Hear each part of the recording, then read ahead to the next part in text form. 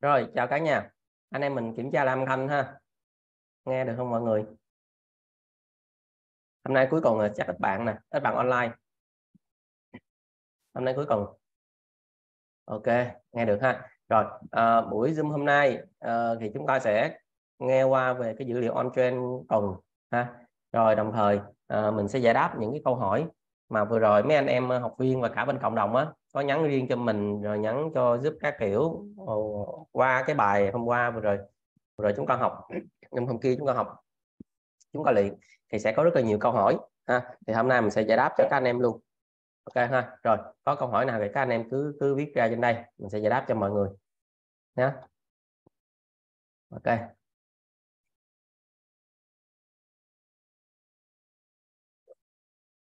Rồi. À, để ý để mình ép hot bạn à, Ờ, tạo hết cho bạn nghiên hạt bạch à, ờ, hiện giờ á báo anh em kênh nuôi luôn. Hiện giờ uh, sách nè và hộp quà của cái bộ uh, bộ sách kỷ niệm 5 năm của cái trading á thì mọi thứ đã đầy đủ rồi. Mọi thứ đầy đủ hết rồi. Nhưng mà thiếu một cái nữa. Thiếu nhất là cái bình. Bây giờ á, lại kẹt bên hải quan. Ác như vậy á. Nó kẹt bên hải quan thì đến ngày 12 tháng 7 á, thì cái lô hàng nó mới về đến đây à, tại vì mình mình mình mình không nhập chính ngạch cho nên nó nó bị lâu. À, nó cũng không phải là lâu nữa mà là nó, nó để rất là nhanh nhưng mà à, do phía uh, nói chung là do phía nó nó về bên Việt Nam rất là nhanh nhưng mà còn Việt Nam vào đây thì nó hơi rườm ràng tí. Nhưng mà dự kiến là ngày 12 tháng 7 là xong. Sau đó chúng ta chỉ cần mất khoảng một ngày hai ngày là có thể khắc được khoảng một ngàn cái bình một ngàn cái bình và bắt đầu xuất giao dần dần. Có nghĩa là chắc phải cũng phải ngày 15 á ngày 15 ngày 15 thì uh, giao đi dần giao dần dần thì uh, bên dịch vụ mà nó sẽ qua nó lấy nó lấy nó giao cho các bạn ha. Rồi ok. Để xem có câu hỏi nào mình giải đáp cho mọi người ha. Vậy là giúp đã được 5 năm mình là học viên thứ hai trong top đầu. À, nhưng cuối cùng lại cuộc lại số tất cả. Ồ vậy hả? không sao đâu để chờ là hạnh phúc. Ok cảm ơn các bạn. Rồi các anh em có câu hỏi cứ viết ra nha mình trả lời một số câu hỏi của mấy anh em đang đang nhắn một cái. Ừ.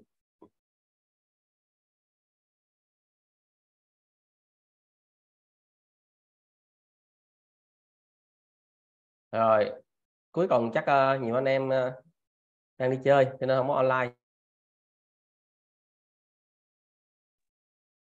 À có bạn nói hóng sách của thầy quá uh, cái sách đó thực ra trong cái bộ sách đó giống như bữa nay có một cái kênh là có một cái câu chuyện là cái cậu nào đó đang ờ, đang đang đang đang đánh ờ, bên bên bên Hubi xong rồi cái kiểu như là bị bị bị sàn nó chơi xấu á bị sàn nó chơi xấu á gần như gọi là scam tiền luôn rồi đó. Đó. Thì thì mất khoảng 120 ngàn đô thì nói luôn với các bạn thực ra cái này nó nó không lạ với với với, với mấy anh em lâu năm như mình. Tại vì cái nguyên tắc á, là chơi bên marine. Đó là một cái trò chơi ngắn hạn và rất là rủi ro cho nên nguyên nguyên tắc của nhà đầu tư á, là sẽ không bỏ tiền vô những cái khoản đầu tư nó rủi ro. Nó rủi ro như marine. Ví dụ tại sao các bạn lại nghĩ các bạn các bạn bỏ đến mấy chục ngàn đô một trăm ngàn đô một trăm hai chục ngàn đô vô đánh x 2 x 3 tham chi vậy? Không cần tham như vậy các bạn. Tại một khi các bạn bỏ tiền ở trên đó sàn nó sẽ có nhiều cái yếu tố nó lắc nó làm nó rút râu các kiểu nó làm cho các bạn cháy cho bằng được các bạn hiểu không? Nó làm cho các bạn cháy bằng được.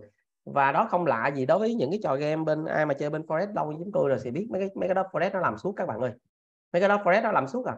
Tài khoản các bạn nạp vô 5 ngàn 10 ngàn có nói các bạn nó muốn là nó nó nó, nó có nó có thể nó, nó gọi là cướp một cách trắng trợn kiểu đó.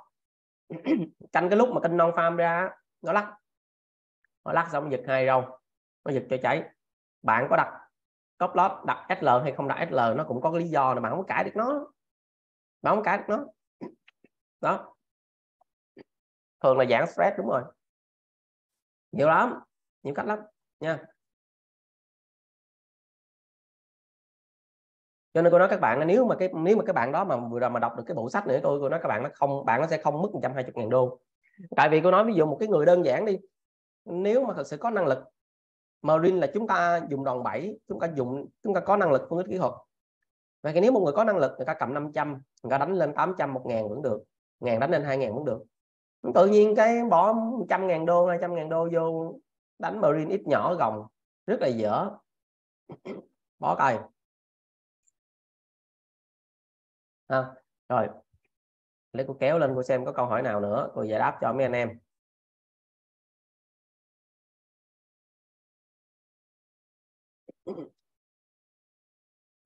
Tự nhiên hồi nãy uống nước lạnh cho nên bị bị ho.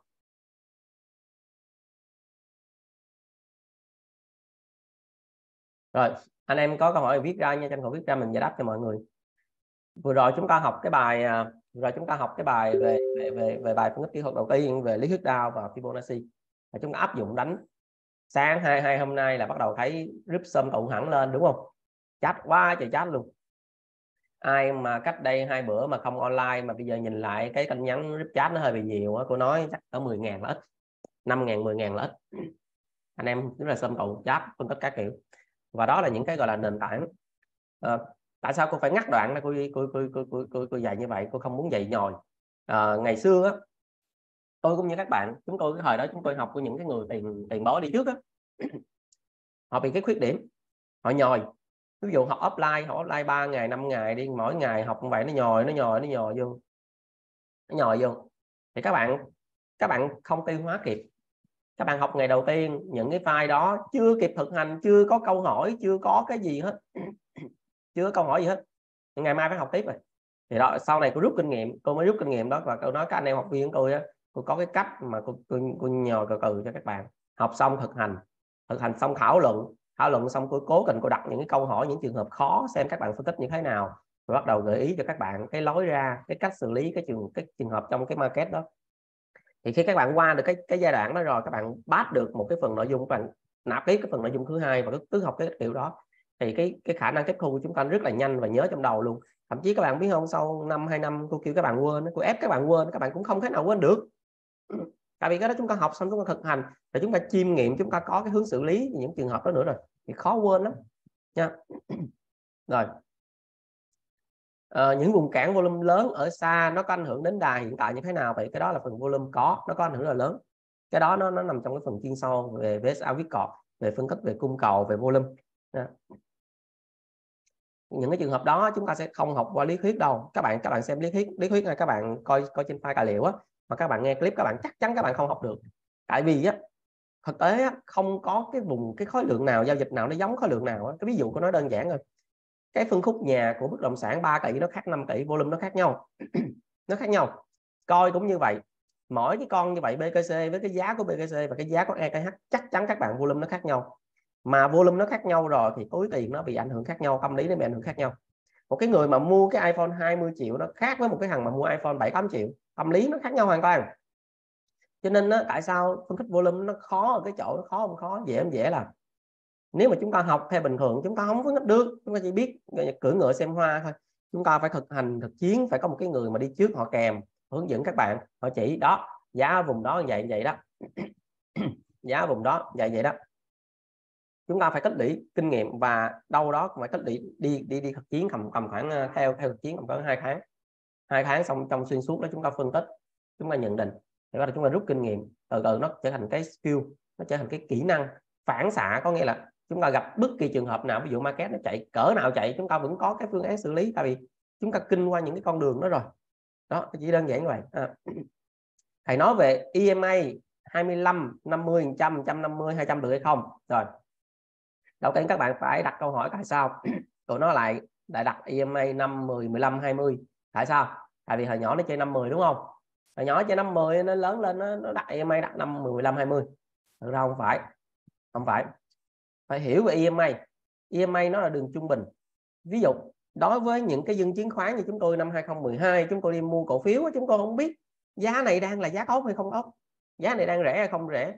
Vậy thì chúng ta phải phải coi cái giá này là giá trung bình trung bình của một ngày trung bình của một tuần. Xem cái giá nó tốt hay không tốt đúng không? Giống như các bạn đi chợ, các bạn ra đi chợ, các bạn mua mua mua thịt lợn này nó các bạn đều đặt một câu hỏi là, thịt lợn hôm nay giá nhiêu vậy cô? Hôm qua giá nhiêu mà hôm nay cô bán con giá vậy? Hay là còn trước giá nhiêu mà tuần này cô bán con vậy? Tại vì chúng ta đang muốn quan tâm đến cái giá bình quân, cái giá bình quân. Vậy thì bên chứng khoán cũng vậy đó. Chứng khoán ngày xưa chúng tôi không biết gì chúng tôi đâu biết mô hình, đâu biết gì đâu. Bắt đầu chúng tôi lấy giá bình quân. Vậy thì bên chứng khoán một tuần có 7 ngày và nó chỉ giao dịch có 5 ngày à thứ bảy, chủ nhật nó nghỉ rồi. Nó nghỉ, nó đi đếm tiền. Đó, chứng khoán chơi chứng khoán nhàn lắm các bạn. Ừ. nên một tuần 5 ngày vậy thì nó lấy cái giá bình quân là đường EMA 5 nó lấy bội số của năm. Nó lấy 5 10 15 20 chứ không phải là do hồi nhỏ nó chơi 5 10 cho nên lớn lên nó chơi chứng khoán, nó áp theo 5 10 15 20 ok chưa? Và dần dần dần nó nó cứ lấy lên, nó đây tại vì cái cái cái cái bình quân mà lấy số giá trung bình trung bình á, mấy cái số mà nhỏ nó bị nhiễu cho nó lấy lên khoảng hai chục, năm chục, trăm, hai trăm. Đó đó là nguyên nguyên nhân tại sao nó lấy cái đó. Này, các bạn nói giữa khác nhau giữa MA và SMA thì bên Ripple cũng dùng cái nào? Thường, tôi khuyên các bạn đừng dùng MA cũng đừng dùng SMA mà các bạn dùng EMA MA là tại vì á, nếu mà so cái thế hệ đầu tiên là MA thế hệ thứ hai là SMA thế hệ thế hệ mà nhanh, hiện giờ là người ta dùng MA là bởi vì nó có cái công thức, các bạn lên Google các bạn search ra nhưng nó sẽ có một cái là nó nó sát hơn, nó nhạy hơn. Nó bỏ cái cái nhiễu hơn, nó lọc cái nhiễu hơn, nó lọc cái nhiễu hơn. Giống như các bạn đang xài iPhone 7 iPhone 8 iPhone 10 gì đó. Đó. Ngày xưa chúng tôi không có khái niệm SMA đâu, chỉ có MA đường MA thậm chí các bạn mà dùng ờ, mà dùng cái app MT4 MT5 nó chỉ có MA thôi. Nó chỉ có MA thôi. Sau này nó mới phát triển và nó cho các bạn chọn SMA hoặc là EMA đó các bạn các bạn mà dùng EMA rồi các bạn sẽ thấy nó rất là sát cái đường giá rất là nhạy nó nhanh hơn. Trong cái file trong cái file mà mà mà, mà bộ sách đó có cô có tôi và một bạn cô và mấy bạn admin nữa. Bạn phong có soạn rất là kỹ về cái câu chuyện EMA SMA Đấy. Và cái bộ sách mà các bạn nhận đó, các bạn đọc các bạn rảnh các bạn đọc để các bạn có cái gì trong đầu cái đã. Nhưng cái giá trị nó là nằm ở trong cái channel á. Tại vì một khi cô phát hành sách xong rồi á là cái channel cái channel fan sách đó anh em đã mua sách thì được join vào channel đó. Thì bắt đầu tôi sẽ mở cái group chat hoặc là tôi sẽ zoom trên đó, zoom trên đó và bắt đầu các anh chị em chúng ta sẽ sẽ được học trực tiếp, giải thích trực tiếp. Lúc đó, những cái mà trong sách của các bạn tôi sẽ biến nó thành những cái suy nghĩ, những cái kiến thức, những cái tư duy mà nó nằm hẳn vào trong đầu luôn. Và không quên được, không lấy ra được. Không ai lấy ra của chúng ta ra được hết. Thì cái đó mới giá trị. Ha ok, rồi để tôi kéo lên xem ha. Có câu hỏi nào nữa không? Anh cho em hỏi là mô hình dễ hình thành hơn trong các cái khung nhỏ như M5, M15, M30, H4 1 giờ đúng không? À, bất kỳ khung nào nó cũng có mô hình ha. Bất kỳ khung nào cũng có mô hình. Các bạn hình dung ra trong cái khung giờ 15 phút 30 phút 4 giờ D1 nó giống như cấp thành phố cấp huyện cấp xã cấp ngõ ngách ngách gì đó của các bạn vậy đó. Đó. Và bất kỳ cái khung nào nó cũng có mô hình ở đâu có đường giá, ở đó có mô hình. Ở đâu có đường giá, ở đó có đường trung bình. Ở đó có đường trung bình. Đó. Nhưng mà những cái khung nhỏ thì các bạn nghĩ là nó dễ hình thành hơn, thực ra không. Nó nhanh hơn thôi chứ nó không dễ hình thành. Các bạn hiểu không? Ví dụ các bạn nhìn 5 phút nát các bạn sẽ thấy quá trời mô hình. Đương nhiên là tại vì một cái nến là 5 phút. Các bạn thử nhìn D1 thì các bạn đợi mòn con mắt luôn. Tại vì một cái nến là một ngày. Cho nên các bạn thấy nó chậm, chứ thật ra nó không hề chậm. Nó vẫn như nhau, không có, vẫn như nhau nó vẫn lấy giá đóng cửa giá giá mở cửa. Do các bạn chúng ta mở cái 5 phút thì nó tính bằng một cái đến 5 phút. Cho nên chúng ta thấy nó nhanh chứ thực ra nó không hề nhanh nó như nhau nha. Ok. Thầy ơi cho em hỏi về cách vẽ mô hình W với hai đỉnh hai đáy với ba đỉnh ba đáy. Cái đó rất là dễ. Cái đó cũng không gọi là vẽ mà là các bạn đầu tiên các bạn nắm hai cái mô hình này. Cái mô hình này ngày xưa ông Athos á, Athos Emelim gì đó ông đó là một trong năm vị thánh được phong thánh về phân tích kỹ thuật. Và ông đánh có đúng cái mô hình này nha đúng hai cái mô hình này. Từ hai cái mô hình này ông biến hóa ra 24 cho đến 48 cái mô hình khác nhau và ông đánh rất là hiệu quả từ hai mô hình này và ông được phong thánh. Mình cho nên cô nói nếu như mà bây giờ mà quay lại mà quay ngược lại thời gian nhiều khi bây giờ tôi với mấy, mấy anh em đang được phong thánh chứ không đùa đâu. Tại vì cái tỷ lệ đánh mô hình này rất là cao rất là cao. Và bản chất của cái mô hình này á là trong một cái đà giảm như vậy nếu mà mô hình này trong một đà giảm thì nó tạo ra, nó không tạo ra đỉnh đáy sau thấp hơn trước. Nó không tạo đỉnh đáy sau thấp hơn trước. Ví dụ, các bạn nhìn thấy mô hình này, đúng không? Đây. Đây. Mô hình V kép. Các bạn thấy cái mô hình V kép này á, là chúng ta sẽ thấy nó mạnh. Nhưng nếu như đây là một cái mô hình V kép, thì chúng ta sẽ thấy cái mô hình, cái mô hình V kép chỗ này nè. Cái mô hình này nó là yếu hơn yếu hơn tại vì sao là tại vì nó tạo ra cái đáy sau thấp hơn đáy trước và đỉnh sau thấp hơn đáy đỉnh trước. Và cái này nó vẫn không gọi là mối tình tại sao? Tại vì cái chỗ này nè cái đầu này nè nó chưa phá chỗ này. Tức là nó phải nó phải phá cái chỗ này nè. Thì lúc đó nó mới ra cái mô hình. Vậy thì nếu mà nó phá cái chỗ này rồi thì lúc đó nó sẽ tạo bản chất của nó là, là cái bài lý thuyết đau á. Nó tạo ra cái này nè đáy sau thấp hơn đáy trước. Nhưng đỉnh sau cao hơn đỉnh trước còn cái mô hình này nè đáy sau bằng hoặc là cao hơn đáy trước và đỉnh sau bằng đỉnh sau cao hơn đỉnh trước vậy thì cái mô hình này là mô hình mạnh số 1 cái mô hình này là yếu giữa hai cái mô hình này các bạn sẽ thấy là cái mô hình số 3 nó mạnh hơn cái mô hình số 2 nó yếu hơn trong ba mô hình thì mô hình số 2 là yếu nhất yếu nhất tại vì nó đang cái mô hình số 2 nó vẫn đi là đỉnh đáy sau thấp hơn trước đỉnh đáy sau thấp hơn trước theo cấu trúc thị trường nhớ không chúng ta học cho nên cái mô hình số 2 chúng ta không gọi là mô hình W tại vì khi nào nó phá cái chỗ này nó phá chỗ này nó, nó leo lên đây này chúng ta mới gọi là mô hình W. V kép. Mà một khi nó phá rồi tức là nó tạo cái đỉnh sau cao hơn cái đỉnh trước mặc dù cái đáy sau này thấp hơn đáy trước. Vậy thì lúc đó đối với quyết cọt đó, với VSA người ta sẽ phân tích cái đoạn này. Người ta sẽ phân tích cái chỗ này để người ta tìm ra là đây là phân phối hay là tích lũy hoặc tái phân phối hay là tái tích lũy đó. Giải thích về như vậy. Và bản chất tất cả cái này các bạn có cái đỉnh đáy nó nó nó đều là những cái mô hình mà rất là quen thuộc như hai đỉnh, hai đáy, ba đỉnh, ba đáy, vai đầu, vai. Đó chỉ cái như vậy và đây là nguồn gốc chính. Cô đố các bạn tìm được cái mô hình nào về harmonic, về hai đỉnh, hai đáy, ba đỉnh, ba đáy, chiếc cốc và cây cầm mà nó thoát ra được hai cái mô hình V kép và M này cô đố các bạn tìm ra được đó. mô hình nào cũng từ nguồn gốc này đi ra hết. Chắc chắn các bạn các bạn thử tìm cho cô đi. cũng cần nguồn gốc mà đi ra hết. Ok ha. Rồi, tôi kéo lên xem có câu hỏi nào nữa. Hôm bữa mới up mấy cái clip về phong thủy. Coi chị tay dịch lý. Up xong up xong mấy anh em đi em quá trời. Cô không thèm trả lời, cô cũng trả thèm lóc nữa, kệ nó. Bữa nay cũng có một ông mới chụp cái hình lên nè, đang trong zoom chụp cái hình bàn tay lên. Bên à, à, anh em bên channel fan sách á thì sắp tới các bạn cũng sẽ được học những cái đó nha những những cái kiến thức đó nha. Học qua zoom học qua zoom mấy cái môn nữa học qua zoom. Rồi. Các bạn hỏi em chuyển 10 đô và tài khoản như thế nào? Đây trong hướng dẫn đây. Đây. Anh em chuyển nội bộ 10 đô vô nè UID 77 47 48 8 chuyển vô gửi BM cho coi xác nhận ép vào. Còn phải bài học hay không thầy? Còn nhưng mà em có nhận được hay không là phải coi em ở vị thế nào. Em đang ở đâu? Em đang ở cộng đồng hay là fan sách hay là trong nhóm học viên? Chứ phải bài học lúc nào chả còn em. À, để kéo lên xem câu hỏi nào nữa nè. Em thấy theo sách giáo khoa thì nó đẹp mà môn thực chiến nó sao sao là bởi vì các bạn chưa có quen á các bạn chưa có nhìn quen á. Cái gì cũng như vậy sẵn đây nói cái này nữa nè. Có nhiều bạn vừa rồi có tôi có dạy về cái cái cái ờ, uh, Picago cái Picago thì á có nhiều bạn có nhiều anh em cũng khá thú vị. Không phải cộng đồng không học viên cũng vậy. Thường chúng ta bị một cái bệnh là chúng ta chúng ta thích hỏi là điều tốt thích hỏi điều tốt nhưng mà không làm mà hỏi thì nó là một cái điều không tốt. Có nghĩa là có những cái chúng ta học chúng ta làm chúng ta thực hành các bạn trải nghiệm đi. Tại vì để học hiệu quả là các bạn học xong rồi các bạn trải nghiệm và đúc kết, phải phối hợp ba cái đó, ha.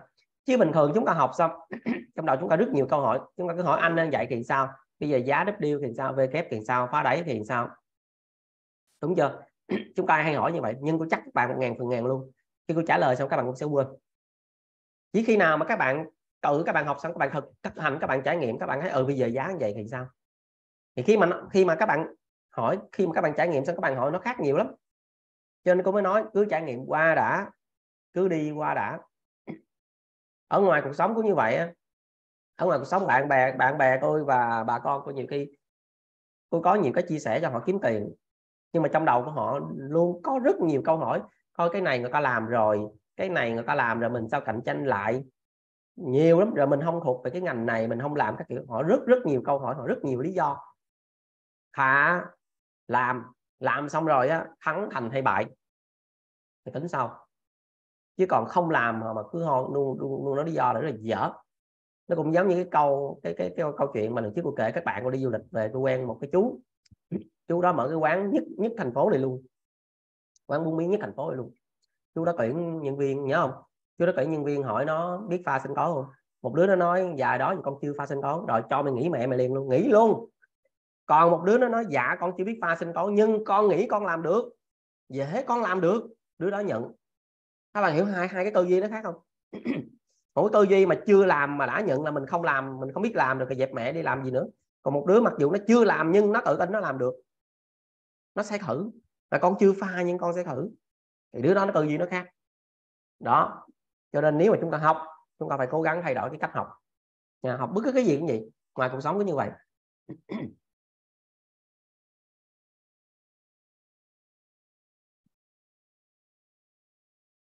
ok. Uhm. anh cho em hỏi khi giá phá qua cản rồi quay lại cách cản kèm volume lớn thì tốt hay volume nhỏ thì tốt? Em đọc VPA uh, ờ, thì như ảnh dưới có đúng hay không? Các bạn đọc VPA các bạn loạn não đó các bạn bị bị loạn não các bạn không có hiểu đâu. Ừ. cái đó phải các bạn phải học chuyên sâu trong những học viên các bạn hiểu. Đó, các bạn đọc cái quyển mà viết cọt 2.0 3.0 4.0 rồi VSA uh, SMC rồi VPA tôi đố các bạn thực hành được đó không được đâu. Tại vì cái môn đó đó là cái môn nó không có dành cho người mới. Có nghĩa là cái quyển bí kíp đó nó phải dành cho những cái người mà đã thực chiến lâu và có kinh nghiệm ở một cái trình nhất định. Thì khi người ta đọc những quyển, đọc những cái kiến thức đó, người ta hiểu nó nói cái gì trong đó. Người ta hiểu cái linh hồn bên trong là gì, người ta hiểu cái ý nghĩa của nó, cần nói cái gì, cần diễn đạt cái gì. Còn khi những cái người mà chưa kinh qua nhiều kinh nghiệm, người ta chưa chưa thực chiến nhiều, chưa chưa qua trong thời gian này người ta đọc người ta không hiểu nó nói cái gì cả. Và ta ngồi người ta phân tích người ta giống như là đang đi bắt hình tướng người ta không đi vô trong tướng. Đó. Trong tổng thể volume nó có nhiều cái để nói nó có cái cộng volume tổng thể. Không phải volume tăng. Volume tăng là thị trường nó rõ ràng xu hướng nó đi lên đâu nha. Volume tăng nó có hai loại. Mua nhiều hay bán nhiều? Lên hay xuống nữa? Còn nếu mà giảm á, thì nó giảm so với cái gì? Ví dụ như trong sách VBA mà bạn đang đang đọc á, nó nói là volume giảm là tốt. Volume giảm là tốt. Nhưng không nếu mà một cái thị trường đang tăng như vậy mà volume nó đột nhiên nó giảm thì theo quy luật nhân quả của quyết cọt nhưng nó nhỏ thì cơ đương nhiên cái quả nó sẽ nhỏ. Volume giảm mà đương nhiên cái lượng giá nó, nó không thanh khoản nó, nó bé lại. Ví dụ như xã hội chúng ta à, cung tiền đang tăng mấy chục ngàn tỷ mấy trăm ngàn tỷ thì trường bất động sản nó lên. Nhưng bây giờ tiền hút về là volume giảm thì đương nhiên bất động sản đi xuống. Vậy thì volume tăng hay giảm nó là gì? Nó phải coi kỹ cái volume đó là cái gì. Ha. Rồi các bạn có cứ cứ, cứ viết ra nha. Tôi trả lời tin nhắn cho một bạn trước một cái. Cho nên cái cái phần volume là chúng ta phải phải phải học chuyên sâu hơn. Ha.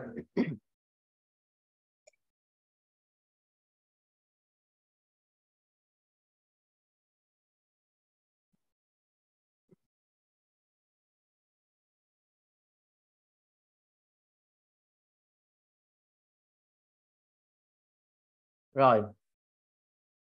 À, thầy nhận định về hai lần tăng lãi suất sắp tới nữa đi. Thì vừa rồi chúng ta đã thấy một cái nhịp mà thằng Fed nó tạm tha cho chúng ta là nó không tăng lãi suất. Nhưng mà chúng ta biết đó là muốn biết nó tăng lãi suất hay không á chúng ta coi cái lạm phát nó có giảm hay không cái cung tiền. Bây giờ lạm phát nó đang đứng ở cái 4.0 và trước mắt là cung tiền ngoài xã hội đang tăng. Đang tăng. Có một cái tôi muốn các bạn phải tỉnh táo tỉnh táo nhìn tổng thể. Các bạn còn nhớ cái lúc mà phép tăng lãi suất 0.75 nhớ không? Tăng mấy lần sau đó 0.5 mấy lần nhớ không? Thì cái lúc đó Việt Nam như thế nào? Thị trường như thế nào? Lúc đó là cả thị trường nó sập các kiểu nhiều lắm. Chứng khoán cũng đi, bất động sản cũng đi, đúng không? Chẳng những chứng khoán đi mà rất là nhiều cây to mặt bự. FLC quyết Trịnh Văn Quyết Ân Hoàng Minh, Trương Mỹ Lan. Nhớ không? Một loạt đi đi đi công trong cái dịp đó. Và sau đó Fed nó giảm dần xuống 0.25 mà bây giờ nó stop lại thì bắt đầu đám đông nó lại nó uptrend. Chúng ta đặt một câu hỏi là Fed nó còn tăng hay giảm? Còn tăng nữa hay không? Còn siết lãi suất hay không? Chứ chúng ta đừng có nhìn cái chỉ số hiện giờ, ha. Nếu mà nó vẫn còn tăng thì chưa có chưa có hy vọng tốt đâu. Đợi. Phải đợi rồi còn cái việc mà sắp tới phép của nó ít nhất là 0.25 thậm chí nó 0.5 luôn, cũng càng mừng. 0.5 là càng có thà nó kéo một phát từ từ 4.0 nó mà để 0.5 thì nó kéo lạm phát từ 4.0 về rất là nhanh 2.0 chúng ta mới ngon chứ. Có nghĩa là thà mày cắt một nhát một đi, thằng nào chết thì chết, chứ tao còn sống, tại vì tao có tiền sẵn rồi, thằng nào chết thì kệ cha nó. Vậy đi cho nó gọn. Còn nó cứa cờ cờ nó cứa cái nó cứa con cái, nó nhấp, nó cứa con cái nó nhấp. Lúc đó còn thảm hơn là chết sớm nữa cho nên cô rất kỳ vọng nó quốc mẹ nó 1.0 cũng được, cô càng mừng. Nhưng khả năng 1.0 là không có rồi. Lúc đó mà là 1.0 rất nhiều tay co mặt bự phá sản. Ngân hàng phá sản. Tại sao nó ngưng lại là bởi vì ngân hàng ấy. Cho nên nó để là không, nó đợi để ngưng lại. Nhưng đợt sau chắc các bạn, ít nhất là 0.25 khả năng khá cao là 0.5 0.5 bằng mọi giá nó phải kéo về 2.0 mà. Nó cái làm phát về 2.0 mà. Các bạn nghe cái bài cũ, các bạn cũng coi được cái chỉ số làm phát rồi, đúng không? Tôi chỉ coi rồi. Rồi à có bạn hỏi nè thầy ơi mình sử dụng ID cũ đã cần đăng ký dưới liền link của RKKE thì tiếp tục tham gia 10 đầu đề không? Tôi có nói các bạn cơ bản là được nhưng các bạn đăng ký đường link cũ cũng được nhưng mà sẽ rất là khó đối với bên sàn. Các bạn hình dung đi tự nhiên cái tự nhiên cái mấy anh em IT ở bên ở bên, bên sàn á nó nó liệt nó nó mình gửi cái danh sách cho nó. Xong nó kiểm tra nó nó lọc cái dữ liệu á nó lọc cái dữ liệu á tự nhiên cái có 90 90 90 mấy người người ta cùng một cái nhánh có một hai ông khác nhánh cái nó phải lọc riêng dữ liệu đó ra. Các bạn chơi môn khó quá giờ đúng không? Cho nên đã như vậy đăng ký lại đi làm hai tài khoản dễ mà. Dễ mà. Có nhiều bạn vui lắm anh ơi em vấn đề KYC em anh nói đã yêu một khi đã yêu rồi á, là đeo rào đục lỗ tường cũng đục nữa. Muốn là làm được theo gì con mẹ đâu khó ra kiếm bà bán rau, đưa bả cần trăm nghìn. Cô cô có chê trăm nghìn không? Nếu mà cô không chê, cô cho con mượn cái mắt của cô một cái, con nói quay bên trái, cô quay một cái con nói quay bên phải, cô quay một cái. Rồi, kịch kịch kịch. Xong. Ủa, dễ mà. Thậm chí nhờ người thân, nhờ má vợ các bạn cũng được mà. Theo quay cô nói muốn là làm được. Động não đi, chúng ta có cái đầu là để suy nghĩ. Đúng không? Có những cái nó dễ lắm muốn là làm được. Bà mẹ nó cô nói, các bạn, cô chụp cô có sáu cái điện thoại á. Từ sàn bay nình cho đến Hubi cho đến biên ít cô cả đóng tài khoản. Coi cô đâu để tiền chỗ đâu. Cô chia ra nhiều rổ mà tất cả rổ cô để trên xe thôi. Xe nó đi là cô đi luôn. Rồi, giờ này còn ông hỏi mua sách ở đâu thì lạc hậu quá, chậm quá. Rồi kéo lên xem câu hỏi nào nha. Ồ, có mấy ông hỏi có nhân số học luôn hả? Trả lời hại não lắm. Các bạn hỏi nếu Fed tăng lãi suất thì USD, thì vàng trên USD XAU trên USD lên cái mà Anh. Các bạn phải hiểu một điều nè. Fed nó tăng lãi suất thì đồng đô la có giá hay mất giá? Fed tăng lãi suất thì đồng đô la có giá hay mất giá? Các bạn trả lời đúng thôi. Có giá hay mất giá? Có giá đúng không? Có giá đúng không ạ? Tại vì trên thế giới này có cái gì mà không gắn với đồng đô la đâu. Các bạn mua chứng khoán cũng gắn với, gắn với đồng đô la. Các bạn stock các bạn nhập khẩu các kiểu hàng hóa nó cũng tính là bao nhiêu đô. Đúng chưa? Các bạn mua USD các bạn mua mua coi á mua BKC là nó tính bằng cái gì? BKC đâu tính bằng Việt Nam đồng. Nó tính mấy ngàn đô nó tính bằng USD USD coi nó cũng quy ra bằng USD cái gì nó cũng quy ra vàng nó cũng quy ra USD mà dầu quy USD vậy chúng ta có tự số và mẫu số. Chúng ta có tự số và mẫu số. Quay lại của dạy cấp 2 cho lớp 2 cho các bạn nha, cấp 2 các bạn nha. Chúng ta tự số và mẫu số. Sao thằng này nó không cho viết luôn à? rồi chữ nhiều quá nó không cho.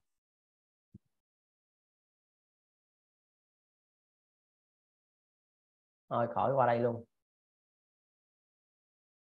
Rồi. Ví dụ, chúng ta có b c. trên USD đi, có ghi là đồng đô la đi. Vậy BTC ra cỡ số. Dưới đây là mẫu số. Nếu mẫu số nó tăng thì cỡ số, thì cái cặp phân số này tăng hay giảm? Cặp phân số này tăng hay giảm? Giảm. Thực tế luôn, ví dụ cô quy ra nha, giả sử 2 phần tư, tức là 0.5 50 phần trăm, đúng không? 0.5 bây giờ số 4 lên số 5 vậy thì 2 phần 5 thì cái này là nhiều. Cái này là nhiều nếu tự, nếu mẫu số tăng, cặp phân số thì nó giảm, thì 2 phần 5 không tới một nửa nữa, nhưng mà 2 phần tư là một nửa rồi. Cho nên nó tất cả những cái đồng trên thế giới, những cái thứ trên thế giới nó đều gắn có mẫu số chung là đồng đô la. Mà phép nó tăng lãi suất đồng đô la nó tăng thì mấy thằng này nguyên cái này là nguyên cái này là sắp mặt lờ hết. Những này giảm. Vậy nếu phép tăng lãi suất thì vàng tăng hay giảm? Bitcoin tăng hay giảm? Chứng khoán tăng hay giảm? Bất động sản tăng hay giảm? Đúng chưa? Đây là một cái cách để chúng ta dễ xem nhất. Đó. Anh cho em hỏi BKC M5 trên trên video nếu đóng nến dưới Fibo 50 là SL luôn hay xuất hiện định đáy sau thấp hơn trước? Đang ai trên, đang trên đây đúng không? Rồi nhìn đây. Từ đầu Fibonacci đỉnh. Đấy. Thì hiện tại giá đang chạm 50 phần trăm và bị hồi ngược xuống giá lao lên, đây là một đà giảm và giá phục hồi lên 50 phần trăm. Vậy 50 phần trăm là cản mạnh, là cản mạnh. Vậy giá này nó có lực để phá cản mạnh này hay không? Có xăng không? Xe này có xăng không? Coi volume. Cái đoạn mà nó lao 50 phần trăm, phần phần trăm volume lớn không? Volume không có. Vậy thì làm sao nói này khả năng tăng được? Vậy nó sẽ điều chỉnh lại. Nó vẫn nó vẫn nằm, nó vẫn ra cái cái ở kèo dưới. Nó không lên được ok chưa? Vậy nếu mà các bạn sell ở đây, các bạn chọn Fibonacci, các bạn sell ở đây. Vậy khi nào SL khi nào đóng nến? Khi nào đóng nến? Khi nào nó dòng lên, nó phá cái chỗ này, nó đóng nến và volume xanh tăng cao cái SL nếu mà TB thì đâu? Các bạn TB một khung Fibo, hai khung Fibo. Xong. Còn TB ở khung nào á, thì coi cái đáy của nó nó về đáy nào. Ví dụ, ở gần, ở đây, gần này không có đáy nè. Cái đáy nó đây nè. Thì TB chỗ này. Vậy thôi TB giá đóng cửa chứ đừng TB rau nến đây là cái cách, lúc đó các bạn sẽ đánh theo cái dạng này nó cái mô hình này. Đó là cái mô hình này. Đó. Chỉnh lên màu vàng cho dễ nhìn. Mô hình này. Rồi, trường hợp. Bây giờ đang sell ở đây. Đang sell ở đây. Cái nó lao xuống. Nó quay lên, nó cái mà kèm volume lớn. Các bạn cắt sell nên bay không? Nên bay không? Không. Trễ rồi, nó lên là bay gì nữa. Phải đợi nó quay lại, nó cắt thì mới bay ok chưa? Cho nên nếu mà cơ bản các bạn đánh áp áp dụng lý thuyết đau và, và Fibonacci các bạn đánh rất là dễ cực kỳ dễ. Cứ chuẩn cái nền tảng đó ha. Rồi cô xem mấy câu hỏi nào nữa. Thôi bây giờ chắc qua cái phần on trend đi ha. Các bạn có câu hỏi thì cứ viết ra cứ viết ra. Rồi một lát cô tổng hợp lại cô coi trên cái đoạn chat này đó.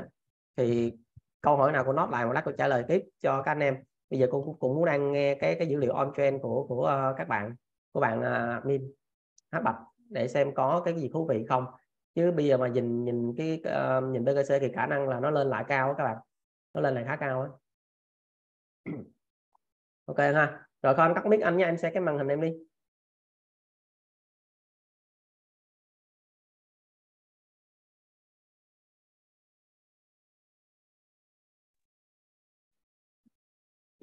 Em chào thầy. Hello anh em ok tuần vừa rồi thì chúng ta đã nghỉ và không cập nhật on trên tuần này mình cũng sẽ có khá nhiều dữ liệu hay để cho anh em ở trong tuần này. À, về cơ bản chúng ta cứ nhìn các cái dữ liệu uh, cơ bản trước nhé thì uh, nhìn một chút về cái báo cáo hoạt động của các quỹ đầu tư được uh, cung cấp bởi CoinShare. Thì chúng ta cũng nhìn thấy rằng là trong tuần vừa qua chúng ta vừa nhìn thấy có một cái nhịp tăng khá là mạnh đến từ phía của các cái mọi người đợi chút. Thì mình chỉnh sửa. Mỗi lần zoom không à không tắt đi cứ có mấy ông vẽ lên đây. chúng ta đã nhìn rằng là chúng ta vừa trải qua hai cái tuần tăng khá là mạnh về các cái tài sản được uh, quản lý bởi các quỹ đầu các cái tài sản kỹ thuật số được quản lý bởi các quỹ đầu tư. Và trong tuần vừa qua thì số tiền được chảy vào thị trường đâu đó khoảng tầm gần 125 triệu đô. Và trong chỉ riêng trong hai tuần là tuần 25 và tuần 26 của tháng à, của năm 2023 thì cái lượng tiền được chảy vào thị trường qua các quỹ đầu tư thì tổng cái tài sản đến từ các quỹ đầu tư đã tăng lên đâu đó sấp xỉ một phần trăm một phần trăm đối với các quỹ đầu tư nó rất là lớn nó lớn hơn rất nhiều so với cái biến động giá của Bitcoin ấy. để anh em nếu mà anh em có tham gia vào quỹ đầu tư canh anh em cũng sẽ nhìn thấy được cái việc là các cái đội khi mà họ đổ tiền vào đâu đấy chỉ cần một phần trăm thì cái lượng cái lượng Bitcoin mà họ mua hay lượng Bitcoin của họ nắm giữ ấy, nó cũng đã tăng lên rất là nhiều lần rồi. Đó và chúng ta nhìn thấy chủ yếu là trong cái đợt tăng đợt tăng lần này thì chúng ta cũng nhìn thấy được là chủ yếu nó được đẩy vào Bitcoin được đẩy vào Bitcoin. Và đẩy vào Bitcoin và có một phần tiền. Phần tiền chúng ta trong tuần vừa qua cũng là một tuần ghi nhận 10 tuần liên tiếp là các cái sản phẩm short Bitcoin đã được rút tiền ra. Thì về cơ bản rằng là để nhìn một cái định hướng ở trong trung hạn và trong dài hạn ấy thì cũng có thể là chúng ta đã nhìn thấy đấy, rằng có một dòng tiền nó được quay trở lại từ các cái nhóm nhà đầu tư mà đầu tư vào thị trường chúng ta qua các quỹ. Nhưng mà có một điều nó không thực sự nó tốt ở thời điểm này cho lắm đó chính là uh, chính là cái khối lượng giao dịch đến từ các cái quỹ đầu tư nó đang có cái xu hướng giảm đặc biệt là trong cái giai đoạn mà giá nó sideways ở trong cái vùng thời gian gần đây. Thì cái nhịp này nó đang có cái xu hướng nó chậm lại một chút bởi vì các cái nhóm này họ đang không các cái nhóm này họ đang nghĩa là họ đang có cái xu hướng cầm chừng sau khi mà cái tin về, cái tin ờ, càng gần đến cái ngày mà công bố lãi suất tiếp theo là khoảng ngày 22 tháng 7 khoảng ngày 27 tháng 7 thì bắt đầu là cái lượng ờ, cái khối lượng giao dịch này nó đang có cái xu hướng nó giảm lại một chút, nhưng mà cái lượng cung nắm giữ bởi, ở trong tay của các cái nhóm các quỹ đầu tư này nó vẫn đang có một cái xu hướng là nó đang tăng nó cũng vẫn đang khá là tốt mình cũng vẫn đang lạc quan. Có nghĩa là mình đang đây nó là một cái dữ liệu nó khá lạc quan ở trong giai đoạn khoảng tầm từ 3 cho tới 6 tháng nữa có nghĩa là từ giờ cho tới cuối năm ấy. đó nó cũng khá là tốt. Nhưng mà có một cái dữ liệu à, chúng ta sẽ nhìn một chút về đội miner. Đội miner ở gần đây thời gian gần đây họ đang bán bitcoin khá là lớn họ đang đẩy cái lượng bitcoin khá là lớn lên các sàn giao dịch. Thì anh em có thể nhìn đây mình, à, cái dữ liệu này mình lấy ở trên Glassnode uh, thì chúng ta cũng nhìn thấy được là cái lượng uh, cái lượng Bitcoin mà đội miner họ đẩy lên các cái sàn giao dịch tổng cái khối lượng tổng cái tổng cái số tiền của cái lượng Bitcoin mà họ đẩy lên đẩy lên các cái sàn giao dịch ấy, nó đang thực sự nó đang rất là lớn. Nó đã đạt trong tuần vừa qua nó đã đạt 128 triệu đô. Trong tuần vừa qua nó đã đạt 128 triệu đô vào thời điểm hiện tại đâu đấy khoảng tầm 105 triệu đô. Có nghĩa là một cái lượng tiền một cái lượng Bitcoin rất là lớn được đẩy lên các cái sàn giao dịch và nếu chúng ta nhìn về cái lịch sử phía trước nhé, chúng ta có cái giai đoạn quấy giai đoạn mà tháng 5 tháng 6 năm, tháng tháng 3 tháng 4 năm 2021 đó là cái đoạn mà cũng gần, khá là gần so với cái đỉnh mà 64 nghìn. Đó, thì chúng ta có một cái lượng Bitcoin, đội miner đẩy lên sàn rất là lớn và sau đó có một cái nhịp điều chỉnh. Sau đó có một cái nhịp điều chỉnh khá là dài. Và đến cái thời điểm hiện tại và sau đó đến cuối năm đến cuối năm 2021 tháng 10 tháng 9 tháng 10 năm 2021 cũng có một cái nhịp họ đẩy lên tương tự. Chúng ta đã nhìn thấy hai lần trước lịch sử hai lần gần nhất là mỗi một lần đội miner họ đẩy một cái lượng bitcoin rất là lớn lên sàn thì giá nó có một cái nhịp điều chỉnh một cái nhịp điều chỉnh khá là dài. Thì ở thời điểm hiện tại chúng ta cũng nhìn thấy rằng là đội này họ đang đẩy lên sàn rất nhiều và mình cũng không uh, đẩy lên sàn rất là nhiều và cũng có thể sẽ có một cái nhịp điều chỉnh ở trong cái thời gian sắp tới. Đó nhưng có một nhưng một cái dữ liệu nó lạc quan hơn một chút đó chính là chúng ta nhìn thấy được là độ yeah, miner cái độ khó khai thác ấy, nó chỉ có một chút giảm nhẹ thôi nó chưa thực sự là nó giảm mạnh. Thì có thể loanh quanh ở đây nó chỉ là một cái biến động một cái biến động nhỏ của các đội họ đang mở rộng họ đang mở rộng họ đang chuẩn bị rất nhiều máy móc để cho cái mùa có cái chuẩn bị máy móc và họ gom thêm cho cái mùa um, having tiếp theo thì với anh em có thể nhìn thấy rằng là trong cái điều kiện hoạt động khá là khó khăn như ở thời điểm hiện tại đó chính là giá của Bitcoin nó không có thể giá Bitcoin nó chỉ hơi cao hơn so với giá sản xuất một chút thôi. Giá sản xuất ở thời điểm hiện tại nếu anh em có thể em search thì anh em có thể search ở trên um, micro micro ạ. Đợi một chút macro micro này anh em có thể nhìn ở đây anh em có thể vào cái trang này để chúng ta check cái giá sản xuất của Bitcoin ở thời điểm hiện tại. Thì đâu đó giá của Bitcoin nó đang khá là gần so với cái giá sản xuất. Đó, nó vẫn nằm dưới một chút. Nó vẫn đang nằm dưới một chút nên có thể rằng đang có một số các cái đội miner, đặc biệt là cái đội mới họ tham gia họ đang có cái xu hướng là khi mà giá nó giảm nhẹ, họ đang không chịu được và họ đã tạm ngừng hoạt động khiến cho cái độ khó khai thác này nó giảm nhẹ. Nhưng mà nó, đây nó cũng không phải là cái dữ liệu, nó thực sự là nó quá xấu cho lắm. Và chúng ta có nhìn về cái đội whale này. Chúng ta nhìn một chút về cái dữ liệu đến từ đội whale. Đó em có thể nhìn thấy rằng là trong cái nhịp mà giá tăng rất là mạnh giá tăng rất là mạnh từ cái giai đoạn mà 25.000 tăng rất là nhanh lên cái vùng 31 lên trên cái vùng 30.000 thì chúng ta có một cái nhịp mà đội whale họ có cái nhịp tích lũy và khiến các cái bóng ở đây nó chuyển sang thành màu đỏ này. Nhưng ở thời điểm hiện tại này chúng ta nhìn thấy rằng là giá đi ngang nhưng cái nhóm này họ đang có cái xu hướng là họ tích lũy chậm lại một chút. Và nếu mà nhìn vào cái dữ liệu về um, dữ liệu về tích lũy của đội của đội whale ở trên Glassnode thì chúng ta cũng sẽ nhìn thấy một điều. Cái dữ liệu này thì anh em anh em nào mà tham gia vào các cái buổi zoom cập nhật on trên lần trước thì anh em cũng quá quen rồi. Đó chính là khi mà chúng ta có cái màu mà nó thiên về màu lạnh thì là các cái nhóm đấy họ đang có xu hướng họ tích lũy. Còn nếu mà nó thiên về cái màu nóng ấy thì là họ đang có xu hướng là họ phân phối ra. Thì ở thời điểm hiện tại à, chúng ta có thể nhìn thấy cái đường cao nhất là của đội à, nhóm Whale nhóm nắm giữ nhiều hơn 10.000 Bitcoin. Còn nhóm thứ hai là nhóm từ 1.000 cho đến 10.000 đó, và các cái nhóm nhỏ phía dưới nữa. Thì anh em cũng có thể nhìn thấy được, ở cái giai đoạn hiện tại, chúng ta đang nhìn thấy rằng là sau một cái khoảng thời gian khá là dài, là các cái nhóm nhỏ phía dưới họ có cái xu hướng là họ bán Bitcoin ra, thì cái đội whale này họ đã gom hàng vào. Và sau khi họ gom hàng xong, trong một cái quãng thời gian khá là dài, đâu đó khoảng 2 tháng, thì bắt đầu chúng ta đã có một cái nhịp tăng từ cái vùng 25.000 lên tận tới cái vùng 30.000 và sau đó, đến thời điểm hiện tại thì đội whale họ đang có cái xu hướng là họ phân phối ra và khi họ bắt đầu phân phối ra thì chúng ta sẽ nhìn thấy rằng là nhóm đầu tiên nhảy vào mua. Cái nhóm đầu tiên nhảy vào để tạo thanh khoản là cái nhóm từ 1.000 cho tới 10.000 và các cái nhóm nhóm từ nắm giữ từ 100 cho tới 1.000 bit thì họ vẫn đang có xu hướng là họ bán nhẹ. Và đâu đó thì có thể nhìn thấy rằng là cái nhóm phía dưới này anh em có thể nhìn thấy các cái nhóm phía dưới là nhóm nắm giữ ít hơn 100 bitcoin ấy, họ lại đang có cái xu hướng họ đang chuyển chuyển dần từ bán sang có xu hướng chuyển sang sang màu xanh mua rồi và cái lượng cung nắm giữ ở trong tay của đội whale nó cũng đang có cái xu hướng nó giảm nhẹ một chút. Anh em có thể nhìn thấy cái đường màu hồng hồng ở đây. Đó, thì chúng ta cũng nhìn thấy là giá nó đang đi ngang ở trên cái vùng đỉnh trên 30.000 này. Thì cái đội whale họ đang có cái xu hướng là họ đang có xu hướng họ bán ra. Thì đây là cái số lượng mà, số lượng mà cái đội whale họ đang có, số lượng bitcoin mà đội whale họ đang nắm giữ nhé nó đang có xu hướng giảm và lượng cung.